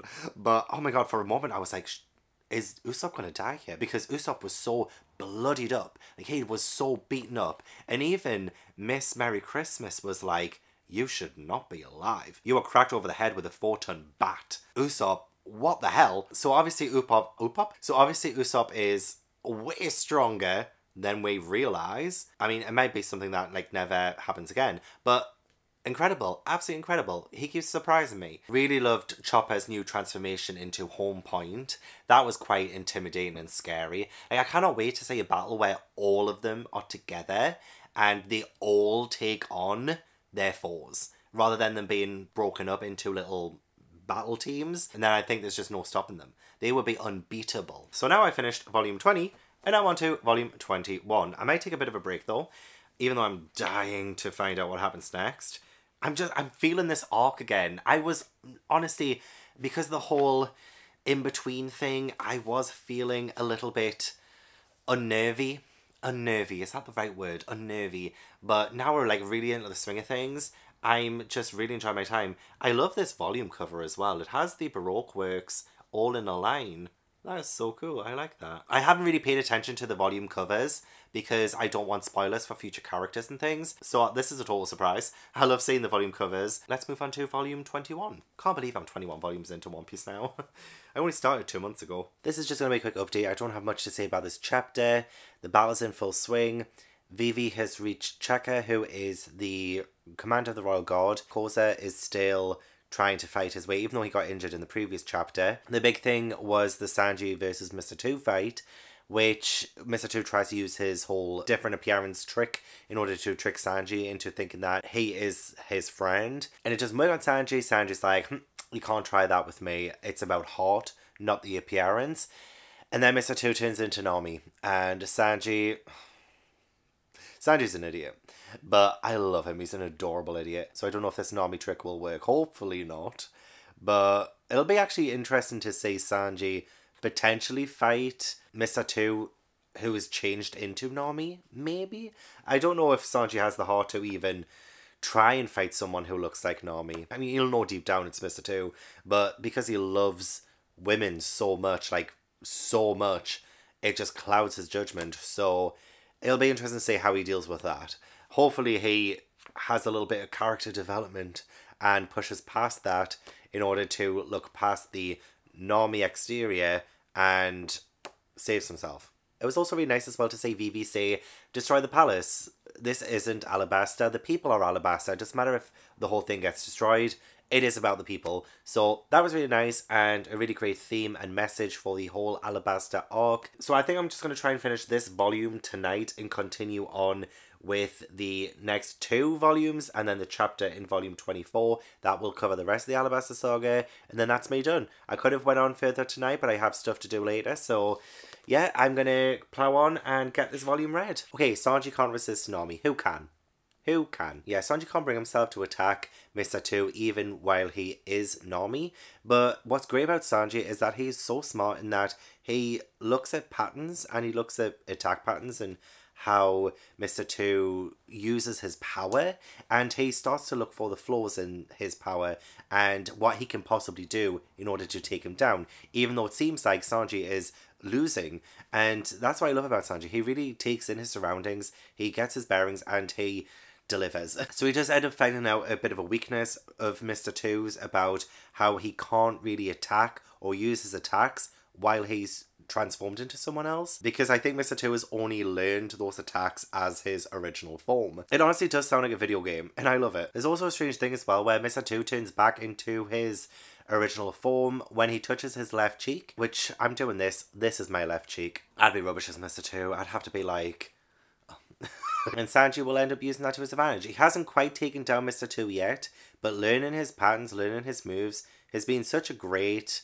experience watching that it makes me think, hmm, if I was in that position, would I be as smart as to take in those kinds of observations? Uh, pretty good. Sanji versus Mr. Two is still on. And yeah, the cover stories as well follow Hachi, just their underwater adventures, essentially. So yeah, I am reading the cover stories. Not much to say about it. Haven't been as invested as I was with Jango, but we're going to see how it goes. I'm only on volume 7 of Hachi's Walk on the Seafloor. Although I will say the locations and the locale, gorgeous. Cover of chapter 189, which is volume 7 of it, is beautiful. So many fish. I hope we get to see more of the underwater with our main Straw Hats. I love how we're tackling each location and we have a different Straw Hat battling someone else. Now we have the North Block and it's Mr. One and Miss Doublefinger versus Zoro and Nami. So this is going to be really exciting because I've been really anticipating Zoro and Nami putting their toes into the battle, especially since, you know, Zoro and Nami are two of the original Straw Hats along with Luffy, and they're always the most interesting to me. And as much as I love Usopp and Chopper and Vivi, of course, and even Sanji, it's great to see the original three. Although I'm still so worried about Luffy. Where the hell is he? Oh my god, how many chapters has it been without him now? Like 10, 12? So many without Luffy. But anyway, Sanji did end up kicking Mr. Two's butt and I'm so happy. He honestly deserved that win. He deserved that win. And the fact that he could have finished off Mr. Two and just didn't is such a testament to oh, how great these characters are. And how great Sanji is as well. There probably was a time where he would have finished him off. But because he's been with the Straw Hats, he's learned so much. Although the amount of blood in this series as well, the blood that's running down Sanji's face, is concerning. It's so concerning. How do these characters not have concussions? They need to be going to the hospital more, I tell you. I did love that he took the goggles off Mr. Two, though. And it did say that the spoils of victory, a dubious friendship. So I wonder if Mr. Two is going to come back and, I don't know, pay it forward. Sanji showed him kindness, and I feel like Mr. Two will end up repaying that later on in the future. As we've seen numerous times in the series so far, and how much of an effect people's consequences have. So, I feel like this was a good thing. This was definitely a good thing. The chapter ends with Zoro and, well, Nami running away from Mr. One and Miss Doublefinger. And Mr. One says, crush the weaker target first, while they chase Nami. And I'm like, okay. I mean, obviously Zoro is going to be the greatest swordsman in the world, right? But Nami, don't underestimate Nami. Don't say she's the weaker target. She might not be as skilled a fighter as Zoro, but she has her own strengths just like Zoro has his, and she has her own weaknesses, just like Zoro has his. So don't underestimate my Nami. I hope they get their butts handed to them from Nami herself. I mean, I hope Zoro has a really good fight out of it too, but I want Nami to put the final nail in their coffin. I really do. As a big fuck you to the Baroque works. Like, how dare you? Crush the weaker target first? Look, you're both the weaker target in this equation. I'm taking the funny moments as they come because they've been few and far between because we're literally in the thick of it. So when Nami asked Usopp on the ship to make her some weapons. And it's just a panel where Nami says, You'll do it, thank you, Usopp, I love you. Now about the cost of materials, thank you so much. Yeah, but weapons like this don't come cheap. I'm counting on you. It's like Nami is the tightest person ever. Like she is such a cheapskate. She'll take money off people no problem. And she's probably the richest out of all of the Straw Hats, let's be honest, from stolen goods. But when it comes to her actually paying for stuff, she's like, I'm out. And I love it. I respect it. I love how her humor is usually tied up with things to do with money, finances, and stuff like that. And yeah, that was just a really nice, funny moment, which I thought I would point out because the rest of the chapter is a lot of running around, a lot of running away. Nami is running away from Miss Doublefinger, and Miss Doublefinger, she has had the spike spike fruit, and she can now make spikes from her body, which oh, I do not want another impaling incident ever since Luffy. Like, no more impaling, please. But yeah, Nami has this weapon that Usopp made for her, but it doesn't really seem to be doing what she needs it to do. So I don't know if like I don't think Usopp would purposefully give her a weapon that was useless, but at the same time, I also wouldn't be surprised. But at the same same time, I'm like, hmm, is there like something up Usopp's sleeve with this weapon? Is something gonna happen? Is it gonna lull Miss Double Finger into a false sense of security, and then Nami's gonna whip out the real weapon and blast her with it. Is that what's going to happen? We will sharp find out. And Zoro is fighting Mr. One. And Mr. One is a human sword, which is the perfect for for Zoro. Because Zoro is going to be the greatest swordsman. I would love to see Zoro use Mr. One as a sword. I feel like that would be hilarious. But I also don't know how he's going to beat him. I love the smack talk between Zoro and Mr. One as well. And how Zoro was like, ha, I was going to join you guys, but your boss turned down my conditions because I wanted to be the boss. And Mr. One's like, don't get cocky with me, you're just a swordsman of a little band of Northern pirates. And Zoro says, so what if I am? What are you? You're a mindless puppet who's been sold a fantasy world. Or maybe you're more like a hollow tin soldier. Oof. That is probably like one of the sickest burns like Zoro has ever come out with. Probably one of the sickest burns in One Piece history. So far, anyway. But I love how we have Mr. One and Zoro fighting, and then we have Nami and Miss Doublefinger fighting as well. Oh my god, I almost shit myself. Oh. For a second there, I thought Nami had been impaled by Miss Doublefinger's spikes. Oh, God. I definitely need a break after this volume because goddamn my nerves are shot. It's hilarious. I mean, I mentioned I think in the previous chapter that funny moments were hard to come by while we're in the thick of the battle. But this entire chapter was just oh filled with so many good funny moments. Like especially since Nami has this baton this weather baton that Usopp created for her, and she has the instruction manual, and it keeps saying or it keeps doing things that are like party tricks, and then Nami's like, "Stop it with the parties," and then it says something like combat instructions on the reverse side. So I was like, "Oh, you know, it's just it's so funny, and it's like such a life or death situation. It is literally Mortal Kombat, and yet still, it just." It's not 100% serious, is it? I love that. Oh, but my favorite moment. I love this moment so much. Probably my favorite Nami moment is when, you know, Nami's figured it out and she is ready for the fight and she goes, Don't mistake me for a helpless little girl. And the panel of her with the baton on her shoulder and she's got this pose. Oh, I want this image of Nami printed off and put on a poster. But the fact that she is able to create a mirage with the baton and she's worked out the whole hot air, cold air that the baton creates is just so genius. Again, she's like Sanji in the fact that she really uses her wits to outsmart the villain or outsmart the antagonist that she is fighting with. And she just did a fantastic job. This is why I love Nami so much. The fight is not over. Still scared, still scared. You know, she's just finally figuring out this baton, whereas Miss Doublefinger is very skilled and experienced with her spikes. So, yeah, oh god, I just don't want Nami to be impaled with these spikes. That was a really. That had me that had me for a second. what in the world is a Pluton? What in the world is a why does Crocodile want the Pluton? I mean, at least we know that the king, Cobra, is still alive, but Crocodile wants a Pluton? Beats me, this is the first I've heard of it. And Cobra's confused as to how he's heard of it. So, something stinks. We have had the return of Miss All Sunday, or albeit very minutely, and we also have Sanji, Chopper, Usopp, and Eyelashes reunite. I think Eyelashes might be my favourite character. I'm not even joking. Like, just the name. I want you guys to stop calling me eyelashes if that's okay. Because I actually do have quite nice eyelashes, if you ask me. Anyway, the fight between Nami and Miss Doublefinger is still afoot. And yeah, Nami's just experimenting. She is able to electrocute Miss Doublefinger, but she's still not done yet.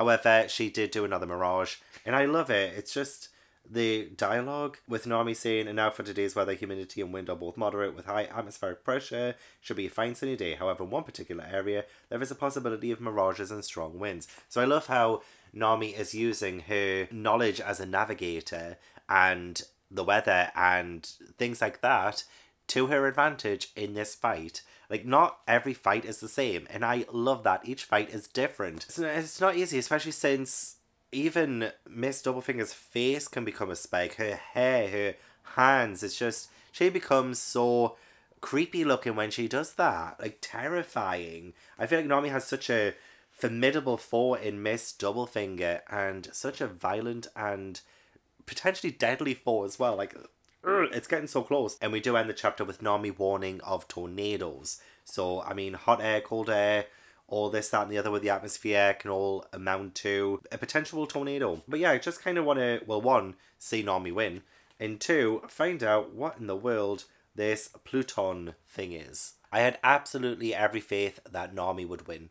Didn't I say, didn't I have zero doubts and zero questions of Nami's strength and her weight to overcome Miss Doublefinger. I believe I said that. I believe I said it twice. But she did win and she used the tornado knockout move and she did a fantastic job, honestly. And oh, when she gets her foot impaled in the spikes and she says this is nothing compared to what Vivi's had to go through and you know the pain of the foot is nothing compared to that and just her continuing on through pain through agony and just oh smashes miss doublefinger well not exactly off the face of the earth but pretty damn near close it was a fantastic fight honestly like i had my heart in my mouth for a lot of it it did look like Nami would lose, but I knew, I knew she would come back swinging. And the fact that Mr. One said that she was the weaker target, it's just like, do not underestimate Nami. Look at where your partner is now.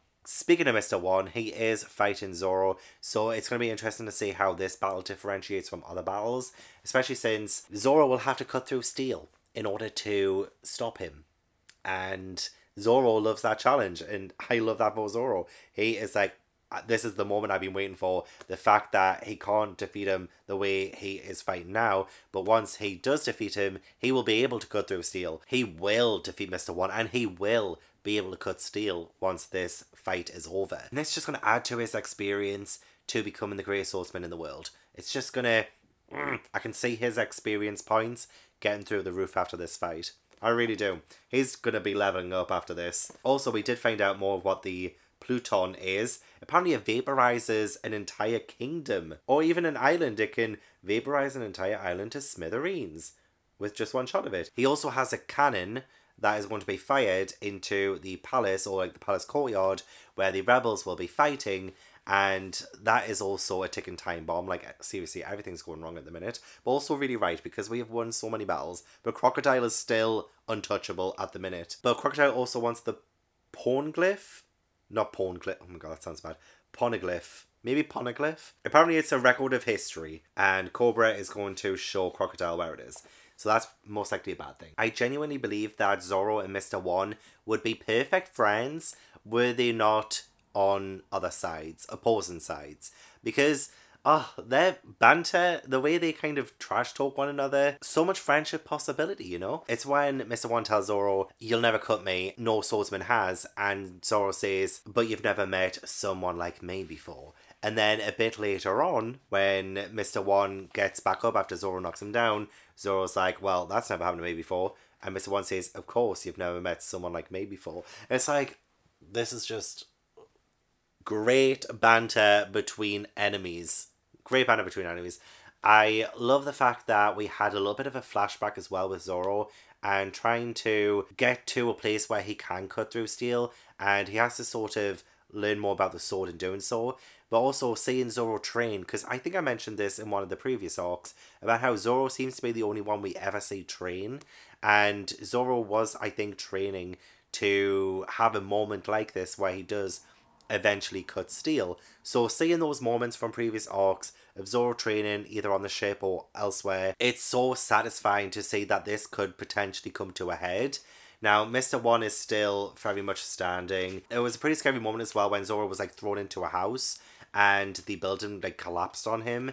But then, of course, Zoro with his superhuman strength, decides to throw it at Mr. One. So I love that we had Nami using her weight to overcome Miss Doublefinger, and now we have Zoro kind of going back on his training and learning from what he's already learned and what he's been trying to learn to try and defeat Mr. One. Oh, I just love how these battles are just coming along so beautifully so beautifully. God, I'm loving it again. Like, I don't want to stop reading. There was a moment, wasn't there, like 10, 15 chapters ago when I was like, I could probably stop for the day, but I, I can't stop reading. I think I've got one chapter left of this volume before I, you know, go and do other things I need to do. Oh, but the temptation to just continue is strong. Let's continue. Let's read the last chapter of the night. Wow, Zoro. Like, the moment where he learns how he can actually cut through steel and he begins to hear the breathing of the world around him essentially and the breathing of the steel. Like that is how he overcomes mr one and he defeats him. It was epic. It was amazing. And i again i should stop thinking that my main character no i shouldn't. I should still worry for them. But when the blades happen on mr one's arms and just the devastating injuries that zoro gets it's like there's so much blood here. Like, how, what? it's just, it really is incredible. And then Zoro just, uh, he just, he keeps surprising me, honestly. What a satisfying fight to see Zoro finally cut through steel and defeat Mr. One. Oh, it was the moment I've been waiting for my entire life. And I didn't realize I've been waiting for that moment my entire life. Epic, amazing just a great fight overall. I just I can't pick a favorite fight now. A lot of them have just been so good and have genuinely worked to every single main character's strengths and even their weaknesses at times too. It's put every single character to the test and all of our Straw Hats so far have come through a winner. The only one who hasn't really yet is Luffy. I'm so scared. Like, hopefully we get Luffy soon. He's been missing this entire volume. What an epic turn of events. I'm floored. Floored by the Zoro versus Mr. One fight. Floored by the Nami versus Miss Doublefinger fight. Floored by it all. Floored by the Sanji versus Mr. Two fight. Floored by the Usopp and Chopper versus Mr. Four and Miss Merry Christmas fight. I'm so impressed with myself for remembering everyone's names. Honestly, usually I'm very bad with remembering so many names at once, but One Piece, for some reason, has a bit of an exception in my brain. And I think it's just because I've been loving it. I've been absolutely fucking loving it. Okay, I finished volume 21, so now we are on volume 22. It's another one of those shiny gold foil ones. And I love how it's. Oh my god. Is this like a one of those covers that go together? Or is it like. Oh no, it goes like this. Sorry, I'm dumb. Yeah, it goes together like this. Let's see if it you can see it. Ah, oh, that's so cool. That's so cool. I love how our straw hats and eyelashes as well are looking at the Baroque works they're all in the line. Yeah, I really need to get on with something that I've left last minute till the very end of the month. And if I don't do it, then I don't get paid. So essentially, I desperately do need to do it. But this is the power of One Piece. This is making me just think, you know what? If I don't get paid, I don't get paid. But just want to finish the Alabasta saga so bad. Chapter 196 was essentially just confirming that Zoro had defeated Mr. One. An interesting development with some of the gods of Alabasta. They drank some special potion that means that they will die, but their powers are enhanced before they die. So they try and fight Crocodile, but obviously they can't do that. It keeps turning into sand.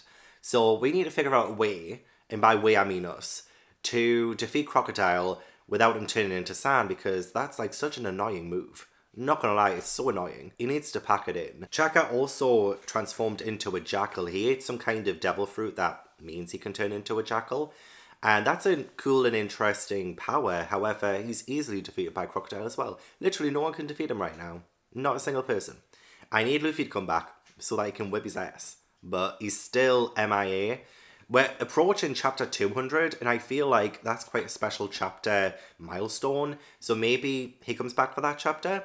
Fingers crossed. Also, there's a 25 minute ticking time bomb on the island of Alabasta. So, yeah. So Luffy has got to get his ass up in 25 minutes. Preferably in 20 minutes so that he has the 5 minutes flexibility to kick Crocodile's ass. I do not believe for a minute that Koza is dead. Every single time I think someone's died, it never happens. The only person whose death has really stuck with me after thinking, oh, they're definitely going to be dead, is Dr. Hiriluk, I think his name was, in the Drum Island arc. Oh, and what a way to go as well. That speech still hits. But like, say, Igaram, he's alive. Zoro, many times he's alive. Even Mr. 3, you know, it's just like, it keeps looking like someone's got it, but they haven't got it, you know, they haven't died. So Koza's just been shot. Yeah, the rebels think it's the king's soldiers who shot Koza, but it's actually still the Baroque Works members who have infiltrated the army. So now it's even worse for the king's army. looks worse for the good guys, especially since we were so close to Koza stopping the rebels from reaching the palace and really getting into this war. Crocodile confirmed that it was him all along, but the rebels may not ever hear that if Koza dies. I, I don't think Koza's gonna die, but I have. Sometimes I've been wrong about deaths and things, but just my gut instinct is that he's still alive. It was interesting to see that the jackal is the deity of Alabasta and Chaka transforms into a jackal because of the fruit. So that's really cool symbolism and I hope that Chaka is able to continue to defend his kingdom. I haven't really mentioned him much. He is a good character. He's not really been embellished or I haven't really got a connection with him yet, but I love his determination. I love his loyalty. And yeah, I think it's important because he is representing Alabasta. So there's still no end to Crocodile's reign of terror. And I don't know how he's going to be defeated, essentially, if he gets defeated. It also seems when we have a big bad, per se, they are defeated, but sometimes they come back. Sometimes they come back. Luffy! Luffy's back! Oh my god, I have missed him so much. So much. I. Uh, What's it been like 20 chapters or something without him? Oh, my heart. Oh, oh, I'm so happy he's back. He's he's back and he's gonna he's gonna save the day. He's gonna save the day. I was beginning to lose hope. I was like Vivi. Like, I mean, Vivi. No, actually, Vivi hasn't lost hope. She's never lost hope, even to the last moment, as Crocodile drops her over the edge and she's falling. She's still remembering her people. She's still remembering the lives she's touched and the lives that touched hers in Alabasta as a princess. What did Crocodile call it? Your idealism makes me want to vomit. Yeah, he's like constantly underestimating her. And the same with other Baroque Works agents, you know, they underestimate their foes and they get their asses handed to them every single time. So Vivi's determination, Vivi's need to save her kingdom. Look at what's happening now. Like the tables are turning. I'm so happy Luffy's back though. And what a great moment as well as Vivi's falling and then you see something also falling from the sky above her and it's Luffy and he's shouting crocodile. Oh my god, this is gonna be oh messy. This is gonna be messy. Luffy is gonna be pissed. He's gonna be pissed and I just love the fact that he had the element of surprise because Crocodile thought he was dead. Like, he should be dead. Luffy should be dead if it wasn't for Miss All Sunday. Oh, this is to be dramatic. I hope we get Miss All Sunday's reasoning for saving Luffy as well. And was she called Nico Robin as well? So hopefully that's explained too. Um, Sense and Betrayal. Oh man, I really want to show you a panel. But it's a panel where the rebels and the King's Army are like colliding into each other for this battle that Vivi has been hopeless to stop. That is a great panel, a really great double page spread. Scared to show you, copyright reasons, but it is a great, great, great exciting panel. Briefly talking about the cover stories as well actually, it was the beginning of chapter 197 where we had Hachi's Walk on the Sea Floor, volume 14, the mackerel fisherman pirates, and these fish people look strange. They look very strange. They kind of scare me a bit. Not gonna lie, they, their designs are weird. One of them has a fish head. The other one just has like a face, like a normal human face, but with like fishy kind of features. It's a weird combination. Sometimes Luffy is the smartest character in here. Sometimes. Not all the time. Oh, he finally hit Croc. He hit him in the face. He got him. And I genuinely was expecting Crocodile to turn into sand again. But no, Luffy, like the other Straw Hats in their battles, learned the strengths and weaknesses of their opponents, learned their kind of maneuvers and their tricks and what have you, and adapted his own fighting style for that. But Luffy noticed during their fight beforehand that when water touches Crocodile, Luffy could grab him. So now Luffy has this barrel on his back with water, and it's one of the reasons why Crocodile stole the rain because he's afraid of water. He's literally the Wicked Witch of the West. Oh, the moment when he smacks him in the face was so satisfying. Felt like I was smacking him in the face. Oh, and I love how all the Straw Hats are back together again as well. Oh, oh chapter 199. I love you so much. I also love how Nami made Zoro carry her from the battlefield where they fought. And Zoro's getting really tired, and Zoro's more injured than Nami as well. And she's like, I feel faint. And then as soon as she's confronting Usopp, she comes to life and she like beats Usopp and she's like, wait until I kill you. I told you, I asked you to make me a weapon, not a party favor. it's Zoro's. I thought you couldn't stand up. Oh god, it's just. Why do I love these characters so much? That's why. Because at moments like this, we're confronted with a palace that's about to explode, a place that's about to explode, and we're still cracking jokes. We're cracking jokes. And Luffy is gonna kick Crocodile's ass. He is. Oh, he really can be the smartest person on earth. Uh, and the way that I just was instilled with more hope as well when Luffy came back, it's everything he represents. You know, if Luffy had died, I mean, obviously he wouldn't have, but like that black hole, that feeling of being lost that I felt since the chapter Luffy last appeared in was so indicative of Luffy's presence. Like, he is so vital. He's the beating heart of this series. And I needed him. I needed him more than the characters needed him to save Alabasta. I needed him for me. And having him just brought me so much joy. I felt joy. I felt hope, which is exactly what the chapter is called. It's called Hope. And I feel like with Luffy, Luffy? That's Luffy and Hope mixed together. That's what I get from Luffy. He just gives me so much hope and joy in all of the feelings. So I love Luffy. Water Luffy is incredible. I love Water Luffy. it, you know what? Luffy and Vivi are so alike. Like, even in the face of great odds that are against them, they're just still so passionate. Like when Crocodile says, I am one of the seven warlords of the sea, and Luffy says, if you're one of the seven warlords of the sea, then I'm the eighth warlord of the sea. That confidence is something else. I don't think I've ever seen a character as confident as Luffy. And it's a great plan as well, especially since water is going to be Crocodile's downfall, right? So he drinks all the water and he's like this big balloon, like this big water balloon. And when he springs a leak as well, that's hilarious. And even Miss All Sunday slash Nico Robin laughs at that like, I love the fact that she can also kind of have fun with it. Why am I even rooting for Nico Robin slash Miss All Sunday? Well, she's an antagonist, right? She's on Crocodile's side, I think. Oh, I don't know what to think, in all honesty. Oh boy, I got a water belly. Maybe I drank too much.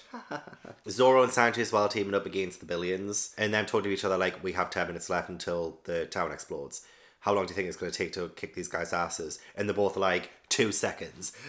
Sanji and Zoro are a fantastic team. An absolutely fantastic team. I love when they fight together. I need to find out if Luffy kicks Crocodile's ass. Oh shit, shit, shit. It doesn't look very good right now. So the tables have turned again, and it looks like Crocodile is kind of winning.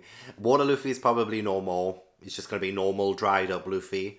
And I guess that's fine. Luffy's going to come back swinging, I just know it. The interesting part about this is that we did get a little bit more backstory on Nico Robin when she's confronted with Tashigi in the kind of town square and they don't know about the explosion and Nico Robin has the king, King Cobra, and he's getting him to help her find the I can't want to call it the porn star, but it's not that. The poneglyph. So we'll find out exactly what that is soon, I think. Because Nico Robin has Tashigi at sword point. And Nico Robin actually sunk a lot of marine ships when she was younger and was deemed a top level menace or something like that. And she has a huge bounty on her, but she's been missing for like the last eight years and no one's seen her since. So that's Nico Robin. She is against the Marines, of course. She is, you know, the Baroque works. And although is she, is she, did she pull a Princess Vivi and did she infiltrate for her own end? She did a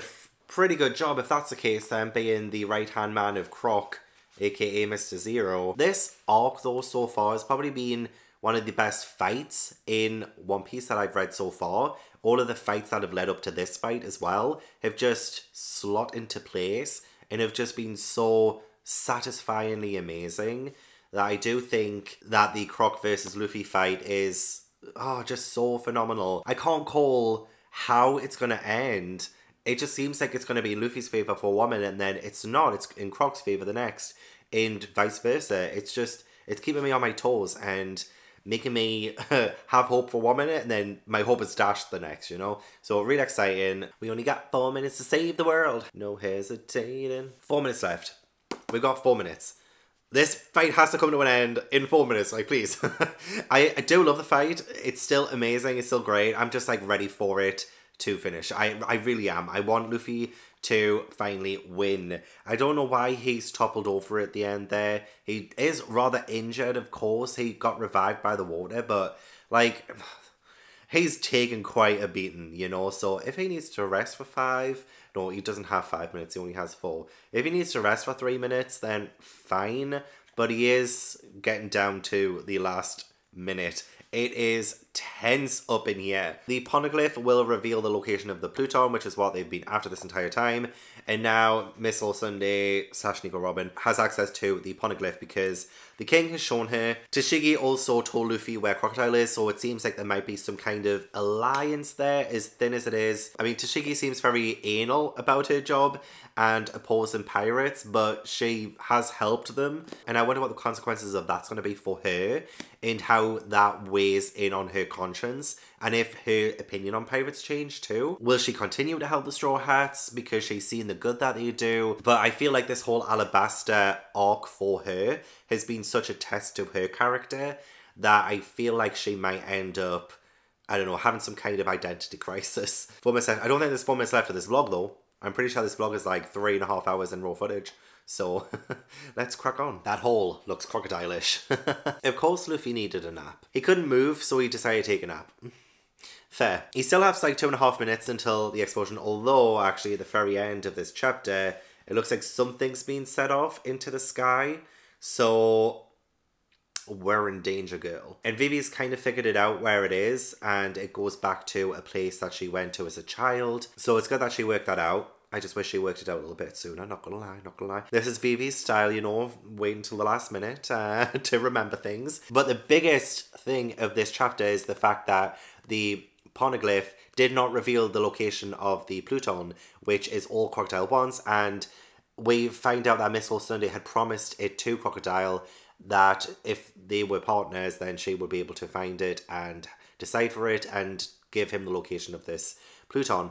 But the poneglyph doesn't reveal the location. So Crocodile says, I'm gonna have to kill you now, Nico Robin, because I don't need you anymore. And Nico Robin knew that this would happen and tries to fight. However, he does overcome her and stabs her in the back. Don't think she's dead though.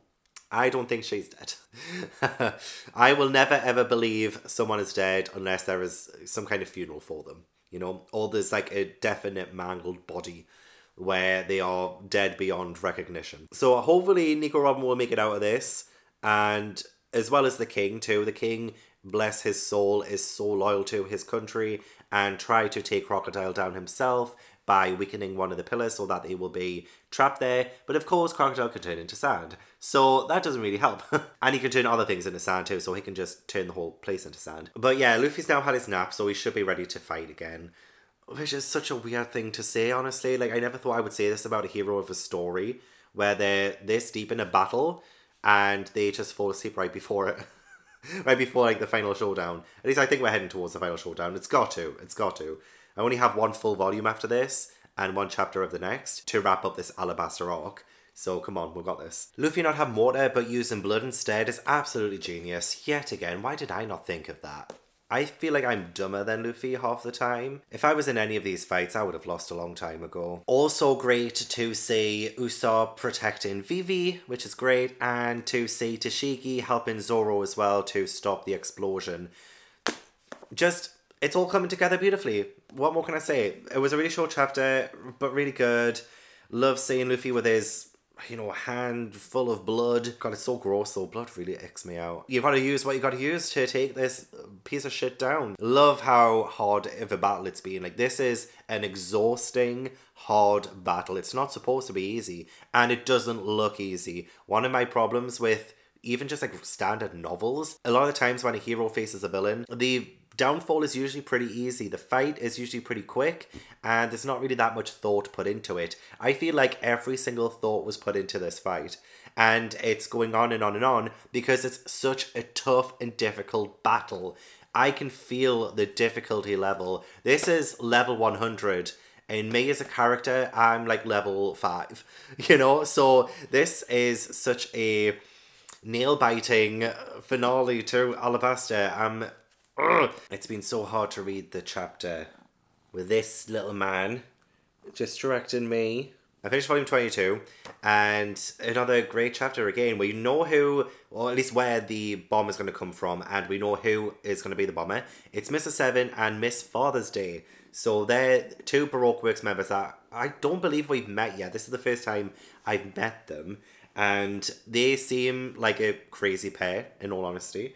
They look like they're well suited together. They have a crazy look in their eyes. The fight between Luffy and Crocodile is still ongoing. And Crocodile does have like this poison hook thing. He says, I've won, soon the poison will start to take effect. And Luffy says, You still don't get it. And I'm like, What does Luffy know that I don't know? I feel like I should know something here, and I don't, and that worries me. I've been trying my best to make sure I read every little thing, look at every little panel, and try and figure out like everything that's going on in that panel but I still feel like I've missed something. But no, another great chapter. At least we know where the bomb is. I feel like it should have been obvious that was coming from the clock tower, but at the same time, I didn't really clock on to it myself. Finishing volume 22 and onto volume 23, which feels a little bit thicker actually. Are there more chapters in this? One, two, three, four, five, six, seven, eight, nine, ten, eleven. Oh, there's 11 chapters in this one. Usually there's around about 9 or 10. So no wonder it feels a bit thicker. Everything's slowed down now because we have, what, like 7 seconds seven seconds before the bomb goes. And I really liked the countdown and the other Straw Hats trying their best to, you know, stop this bomb from happening. So Nami's going to try and use her special power with the weather baton or the climate baton. So they're working together right now to stop Mr. Seven and Miss Father's Day. And the thing that I thought I missed, I just thought Luffy had another trick up his sleeve to do with like his blood or with the water. He had the previous time it became Water Luffy. I thought he had another trick. The thing that I was missing, I wasn't really missing, but he's just not going to give up because Vivi will die and Vivi is his friend. I need a friend like Luffy for one. Somebody who's willing to die for me. I mean, not that I would want somebody to die for me, of course, but you know, it's just nice to know the options there. And that's the thing Croc is missing. He's missing friendship, and that will probably be his downfall. The fact that Crocodile has betrayed pretty much everyone, he doesn't have a friend in the world, he only has people who work for him who will probably betray him at a moment's notice, whereas Luffy has a whole team behind him. Oh, we're screwed. It doesn't even matter that Vivi managed to stop the bomb from exploding. It's going to explode anyway. It's on a self-timer, which just shows that Croc has so little faith in his agents. And, you know, he is a master manipulator. He is an ultimate bad guy. So like he does think of every eventuality in case something doesn't go right with his plan. So like I, he's so smart. Like, I respect it because he is incredibly intelligent. And obviously it was a good thing that he had the timer, you know, just in case they didn't manage to light it. But oh, Vivi tried so hard to stop it as well. So now what's going to happen? How are they going to stop it? I don't think they can. Not unless they can they just like smash the thing up or something. Maybe point it high in this no because they'll probably just end up finding the town anyway. I don't know how they're going to do this. Like, this is why I'm not one of the Straw Hats. You know, I, I can't think of things like this. I would be the useless one in the background, looking pretty, but not being able to do much. But still, the tension is ripe, and I don't know how much more I can go on. I need to this come down. I need the victory. I, I need to chill. I also need a new coffee as well. That one's gone cold. Oh, good grief. I'm so glad I made myself a coffee now. Gingerbread latte, by the way, homemade. I needed the comfort. that was, oh, I mean, it's okay. So Pell managed to stop the bomb by picking it up with his talons in falcon form and flying high above the city so that it wouldn't, you know, hurt anyone. Essentially sacrificing himself for Alabasta because he is the guardian spirit of the place and all of their enemies shall be vanquished. So, oh god, somebody having that much loyalty to their kingdom is just so admirable. Ah, And then also having the flashbacks as well to when Vivi was a child and Pell would take her flying and stuff. That was very hard hitting. As well as the part where he slaps Vivi across the face. But other than that, very hard hitting, although technically it did hit Vivi in the face hard. Other than that, what an absolute trooper. What a champ. What a hero. He died a hero's death. Is he actually dead though? Is he actually dead? I feel like I should never make these assumptions. Is he actually dead though? I feel like there's no way he can survive that explosion. But said that before in the past, haven't I? Great chapter. Glad that the whole bomb threat is taken care of. Now it's just Crocodile who needs to be taken care of. And Luffy's still going. Luffy is still swinging. He says he's going to be king of the pirates, and goddamn, he will be one. So there's no way Crocodile can defeat him. Because I believe in Luffy, you believe in Luffy. The only person who doesn't believe in Luffy is Crocodile. And anyone who underestimates Luffy pays for it with their lives. Poor Pell. Oh, that was. Oh, I keep remembering. Ah, it does hurt a little bit, but we've got to soldier on for this final climax. I feel like I've had so many climaxes in this video. Mm, that came out wrong. I personally haven't had a climax since Ace's last chapter. There's only so many times I can hear Luffy say, I'm gonna defeat you, and not defeating him. I feel like, right, okay, I feel like maybe the next chapter is when we'll get Luffy defeat him. I can only imagine how people felt when they were reading One Piece chapter by chapter back in this arc and waiting for Luffy to finally bring Croc to his knees. I can only imagine week by week waiting and waiting and waiting, whereas all I have to do is wait a couple of minutes and I can read the next chapter, you know? I dread the day when I catch up with One Piece and I have to read it chapter by chapter each week. I mean, I can't wait for that as well because I'll be caught up and then I can talk to everyone about One Piece. I can watch all the One Piece videos I want on YouTube and not worry about spoilers and join in on all the conversations. But at the same time, I'm like, oh, but if I have to read this story chapter by chapter, week by week, ah, I'm a binge it all in one go kind of guy. I'm not really great with the whole week by week life, but I guess I'll just have to adapt. But poor Vivi, she's still trying to get everyone to stop fighting too. She's shouting, stop fighting. Nami is telling the Straw Hats, come on, let's try and help them to stop fight, do whatever you can to stop them from fighting. They need to save as many lives as possible. This next chapter is called Zero, and the previous times when a Baroque Works member was beaten was in a chapter that was named after them. So there was a chapter called Four where Mr. Four got defeated. There was a chapter called Two where Mr. Two got defeated, and a chapter called One where Mr. One got defeated. So Zero.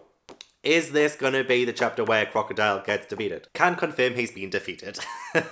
and I love how Luffy's just grinning, and when the king thanks him, he's like, Thank you so much. And Luffy's like, It was nothing. It's like, it was everything. Come on. Like, the amount of emotional turmoil that took, chapter after chapter after chapter, fighting Croc just to have the whole oh it was nothing you know it's just a regular tuesday it's hilarious. The fact that we have rain coming back as well it reminds me of you know a cinderella story where it finally rains? It i mean it's a weird comparison but that's how i associate it okay? The relief the way that Vivi's voice finally reaches everyone and they stop fighting, the rain is falling down, Croc is defeated, Luffy's grinning his grin. It's the best feeling ever when we reach. Well, it's not exactly the end of the arc just yet, but when we reach that point where the Straw Hats have won. Oh, I'm on cloud freaking nine right now. Cloud nine. Everything is right in the world. I hope nothing goes wrong now. I mean, we've already had that huge sacrifice from Pell. I genuinely hope we don't have anything else that's going to traumatize me because I just can't be handling that right now. Oh, go Luffy! Yay! Oh, I'm so proud of Luffy and I'm proud of Vivi. I'm proud of the Straw Hats. Oh, yeah, it was a good fight. It was a very good fight. Croc did bring it, but Luffy brought it more. Oh, long live Alabasta! Long live Alabasta! All the fighting, all the war. Alabasta being in danger. It's all over. It's all over. I feel like the Baroque works are over as well. I mean, there's always the possibility of them coming back, but it, it's like closing the chapter on the Baroque works and the crocodile, Mr. One, Two, Three, Four, Five. Again, I'm just satisfied. I'm satisfied with how it unfolded. I'm satisfied with the fact that Igaram came back and is reunited with Vivi, so now they know he's alive. And the fact that Crocodile's been exposed as the master manipulator behind Alabasta's troubles. I just need to know about Toto. I still haven't forgot about Toto. I hope he's okay, especially since Koza is fine too. But the whole speech from the king, Vivi being relieved for her friends' safety. How can I love you more? I'll tell you how I can love you more. Bring back Ace. Oh my, Smoker. I mean, I appreciate the fact that he's not going to take the credit for the defeat of Crocodile, and the government don't want to acknowledge the fact that the Straw Hat saved Alabasta and defeated Crocodile. So Smoker and Tashigi are going to get medals for taking down Crocodile, even though they didn't. And Tashigi's been crying because she could only sit back and watch as she pointed to Luffy where Crocodile was. Like she couldn't defeat him herself. And like that again, like as I mentioned before, the tearing apart of her kind of morals, like what is morally right for her, what's the right sense of justice really does play a huge effect on her. And I really like that. I feel like she's at a breaking point and she was crying and Smoker tells her to toughen up. And also we meet Black Cage Hina. And I actually think we saw her in one of Jango's cover story chapters actually. And she is a Navy captain. I don't know if she is just a minor character, she'll become important later on, but she seems to understand her role, her place in the Navy, and the fact that even though Straw Hats did defeat Crocodile, the government will never recognise that and they do not want the truth to get out. So Smoker, Tashigi, and now Hina, these are all Navy people who I think I want to try and keep an eye on, see how they develop, and if they end up changing sides or what have you. But Luffy and the gang are having a well-earned rest. It's finally raining after three years. It's raining. And Toto is fine as well. He is in Yuba still and he is like, see son, didn't I tell you it would rain? And his perseverance is so admirable. Freaking love it. There are so many admirable characters in One Piece that my heart just can't take it anymore. It just can't. I have no room left for these characters in my heart because it's just taken up by all of them. okay, a couple of things. Did Igaram marry his sister? They bizarrely look too alike for my liking. Like, is he attracted to himself and that's why he married her? Or did she change her look to look like him after they were married?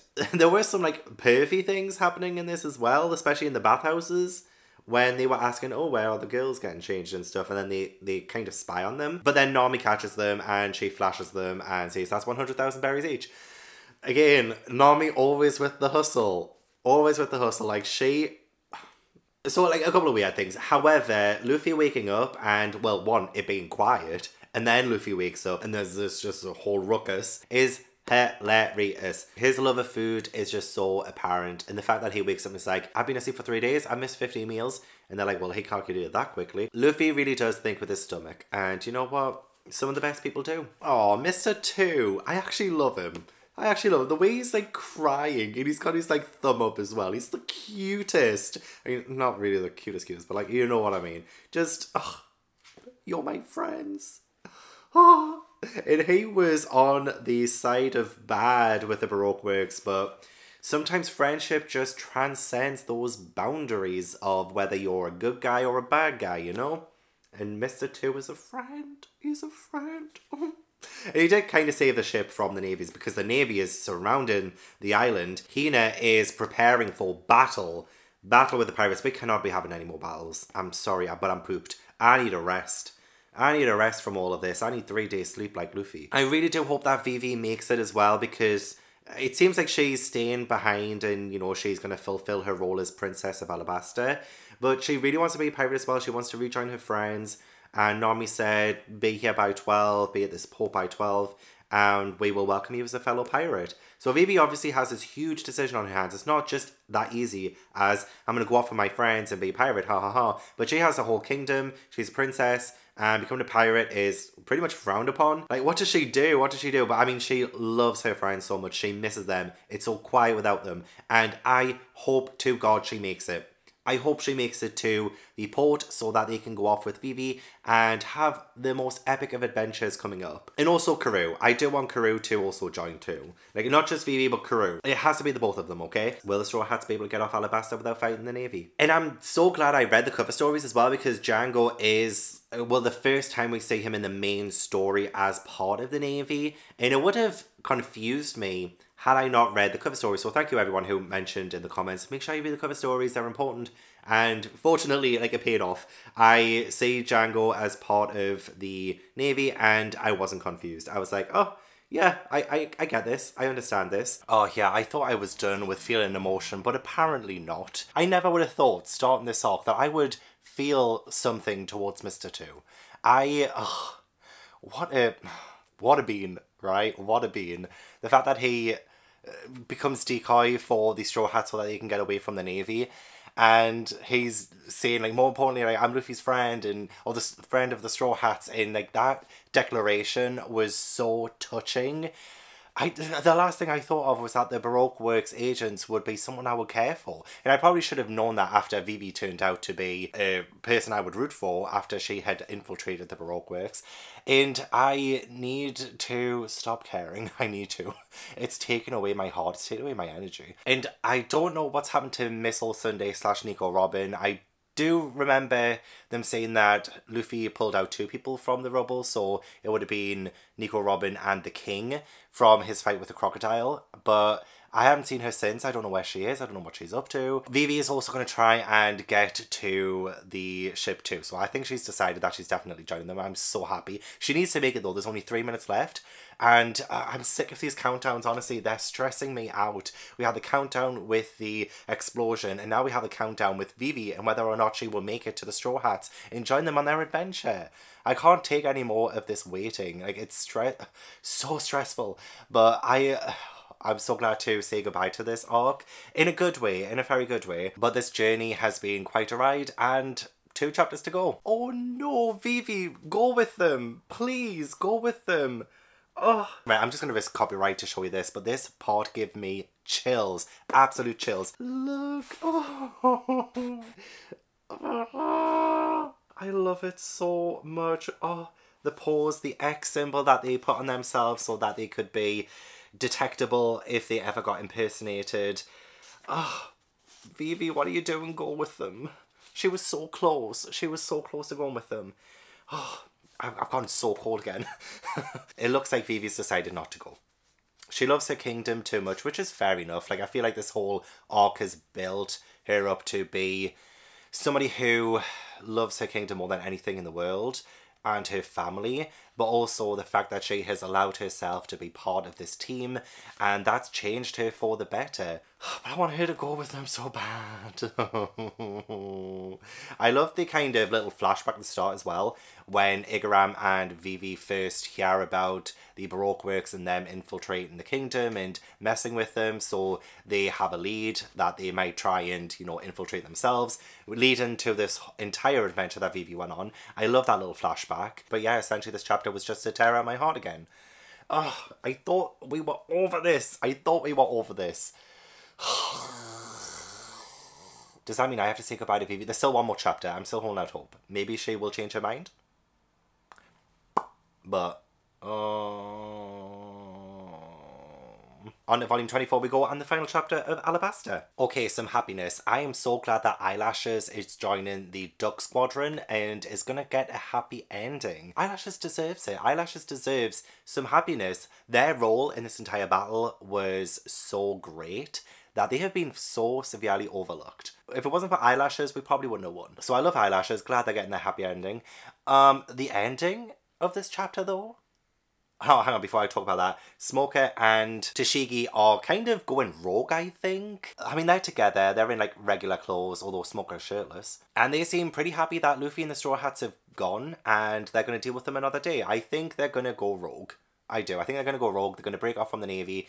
And, well, I feel like they have no choice now after Smoker told them to shove it. But it'll be interesting to see where their story develops and goes. But the biggest thing was the end of the chapter. I mean, one, the Straw Hats, you know, crying over Vivi and missing her was so amazing. And I loved how Zoro was like, well, why didn't you just kidnap her if you miss her so much? And everyone tries to call him names. Luffy says three sword style. And they're like, wait, that's not an insult. Fine, four sword style. And it's just and then Miss All Sunday slash Nico Robin comes out of the ship and she's like wearing Nami's clothes for one, had a shower, read a book, and she wants to join them.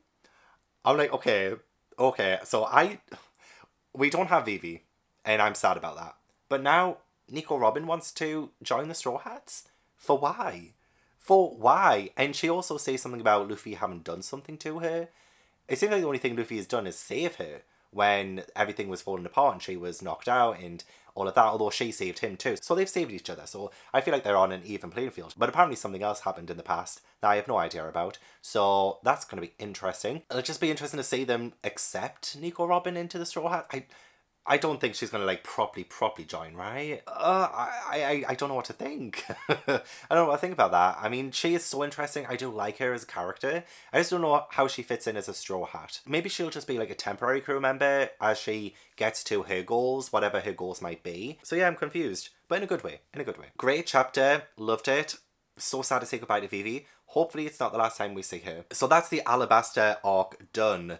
I cannot believe that. That's the entire Alabasta saga done as well. I spent the entire November reading the Alabasta saga and no regrets. No regrets. I loved it. Absolutely loved it. It was a great saga. And the Alabasta arc itself, I would probably give a 9 out of 10. I think it's a joint favourite of mine, mainly because of so many epic moments that happened. So it brings a joint with Arlong Park, but I don't know if it's better than Arlong Park or not. It was very epic, and I just absolutely loved the battles and how they all just made sense to the story and each character had their moment to shine and learn from them and you know they just developed so much. It was so exciting so impactful. The fight with crocodile like he was not an easy foe the fight to save alabasta oh, just so many fantastic moments. This doing this oh, like I think that's my favorite moment in the series so far. Honestly, like it just, I still have chills from that. I am sad to say goodbye to the Alabasta saga, but I'm very excited to say hello to the Skypiea saga? Is it Skypiea? I will learn the proper pronunciation before my next videos, of course. But yeah, the minute I've completed two complete sagas of One Piece,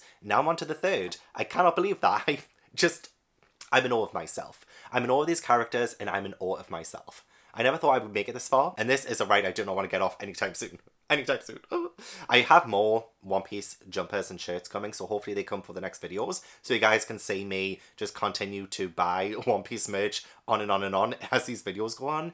But yeah, make sure that you subscribe for more One Piece arc reviews. I will still be doing them arc by arc, and more content in general. I do a lot of bookish videos, and I just really appreciate you guys checking out my One Piece videos, and yeah, without you guys, I probably wouldn't have made it this far. You know, all the support you showed me the previous videos.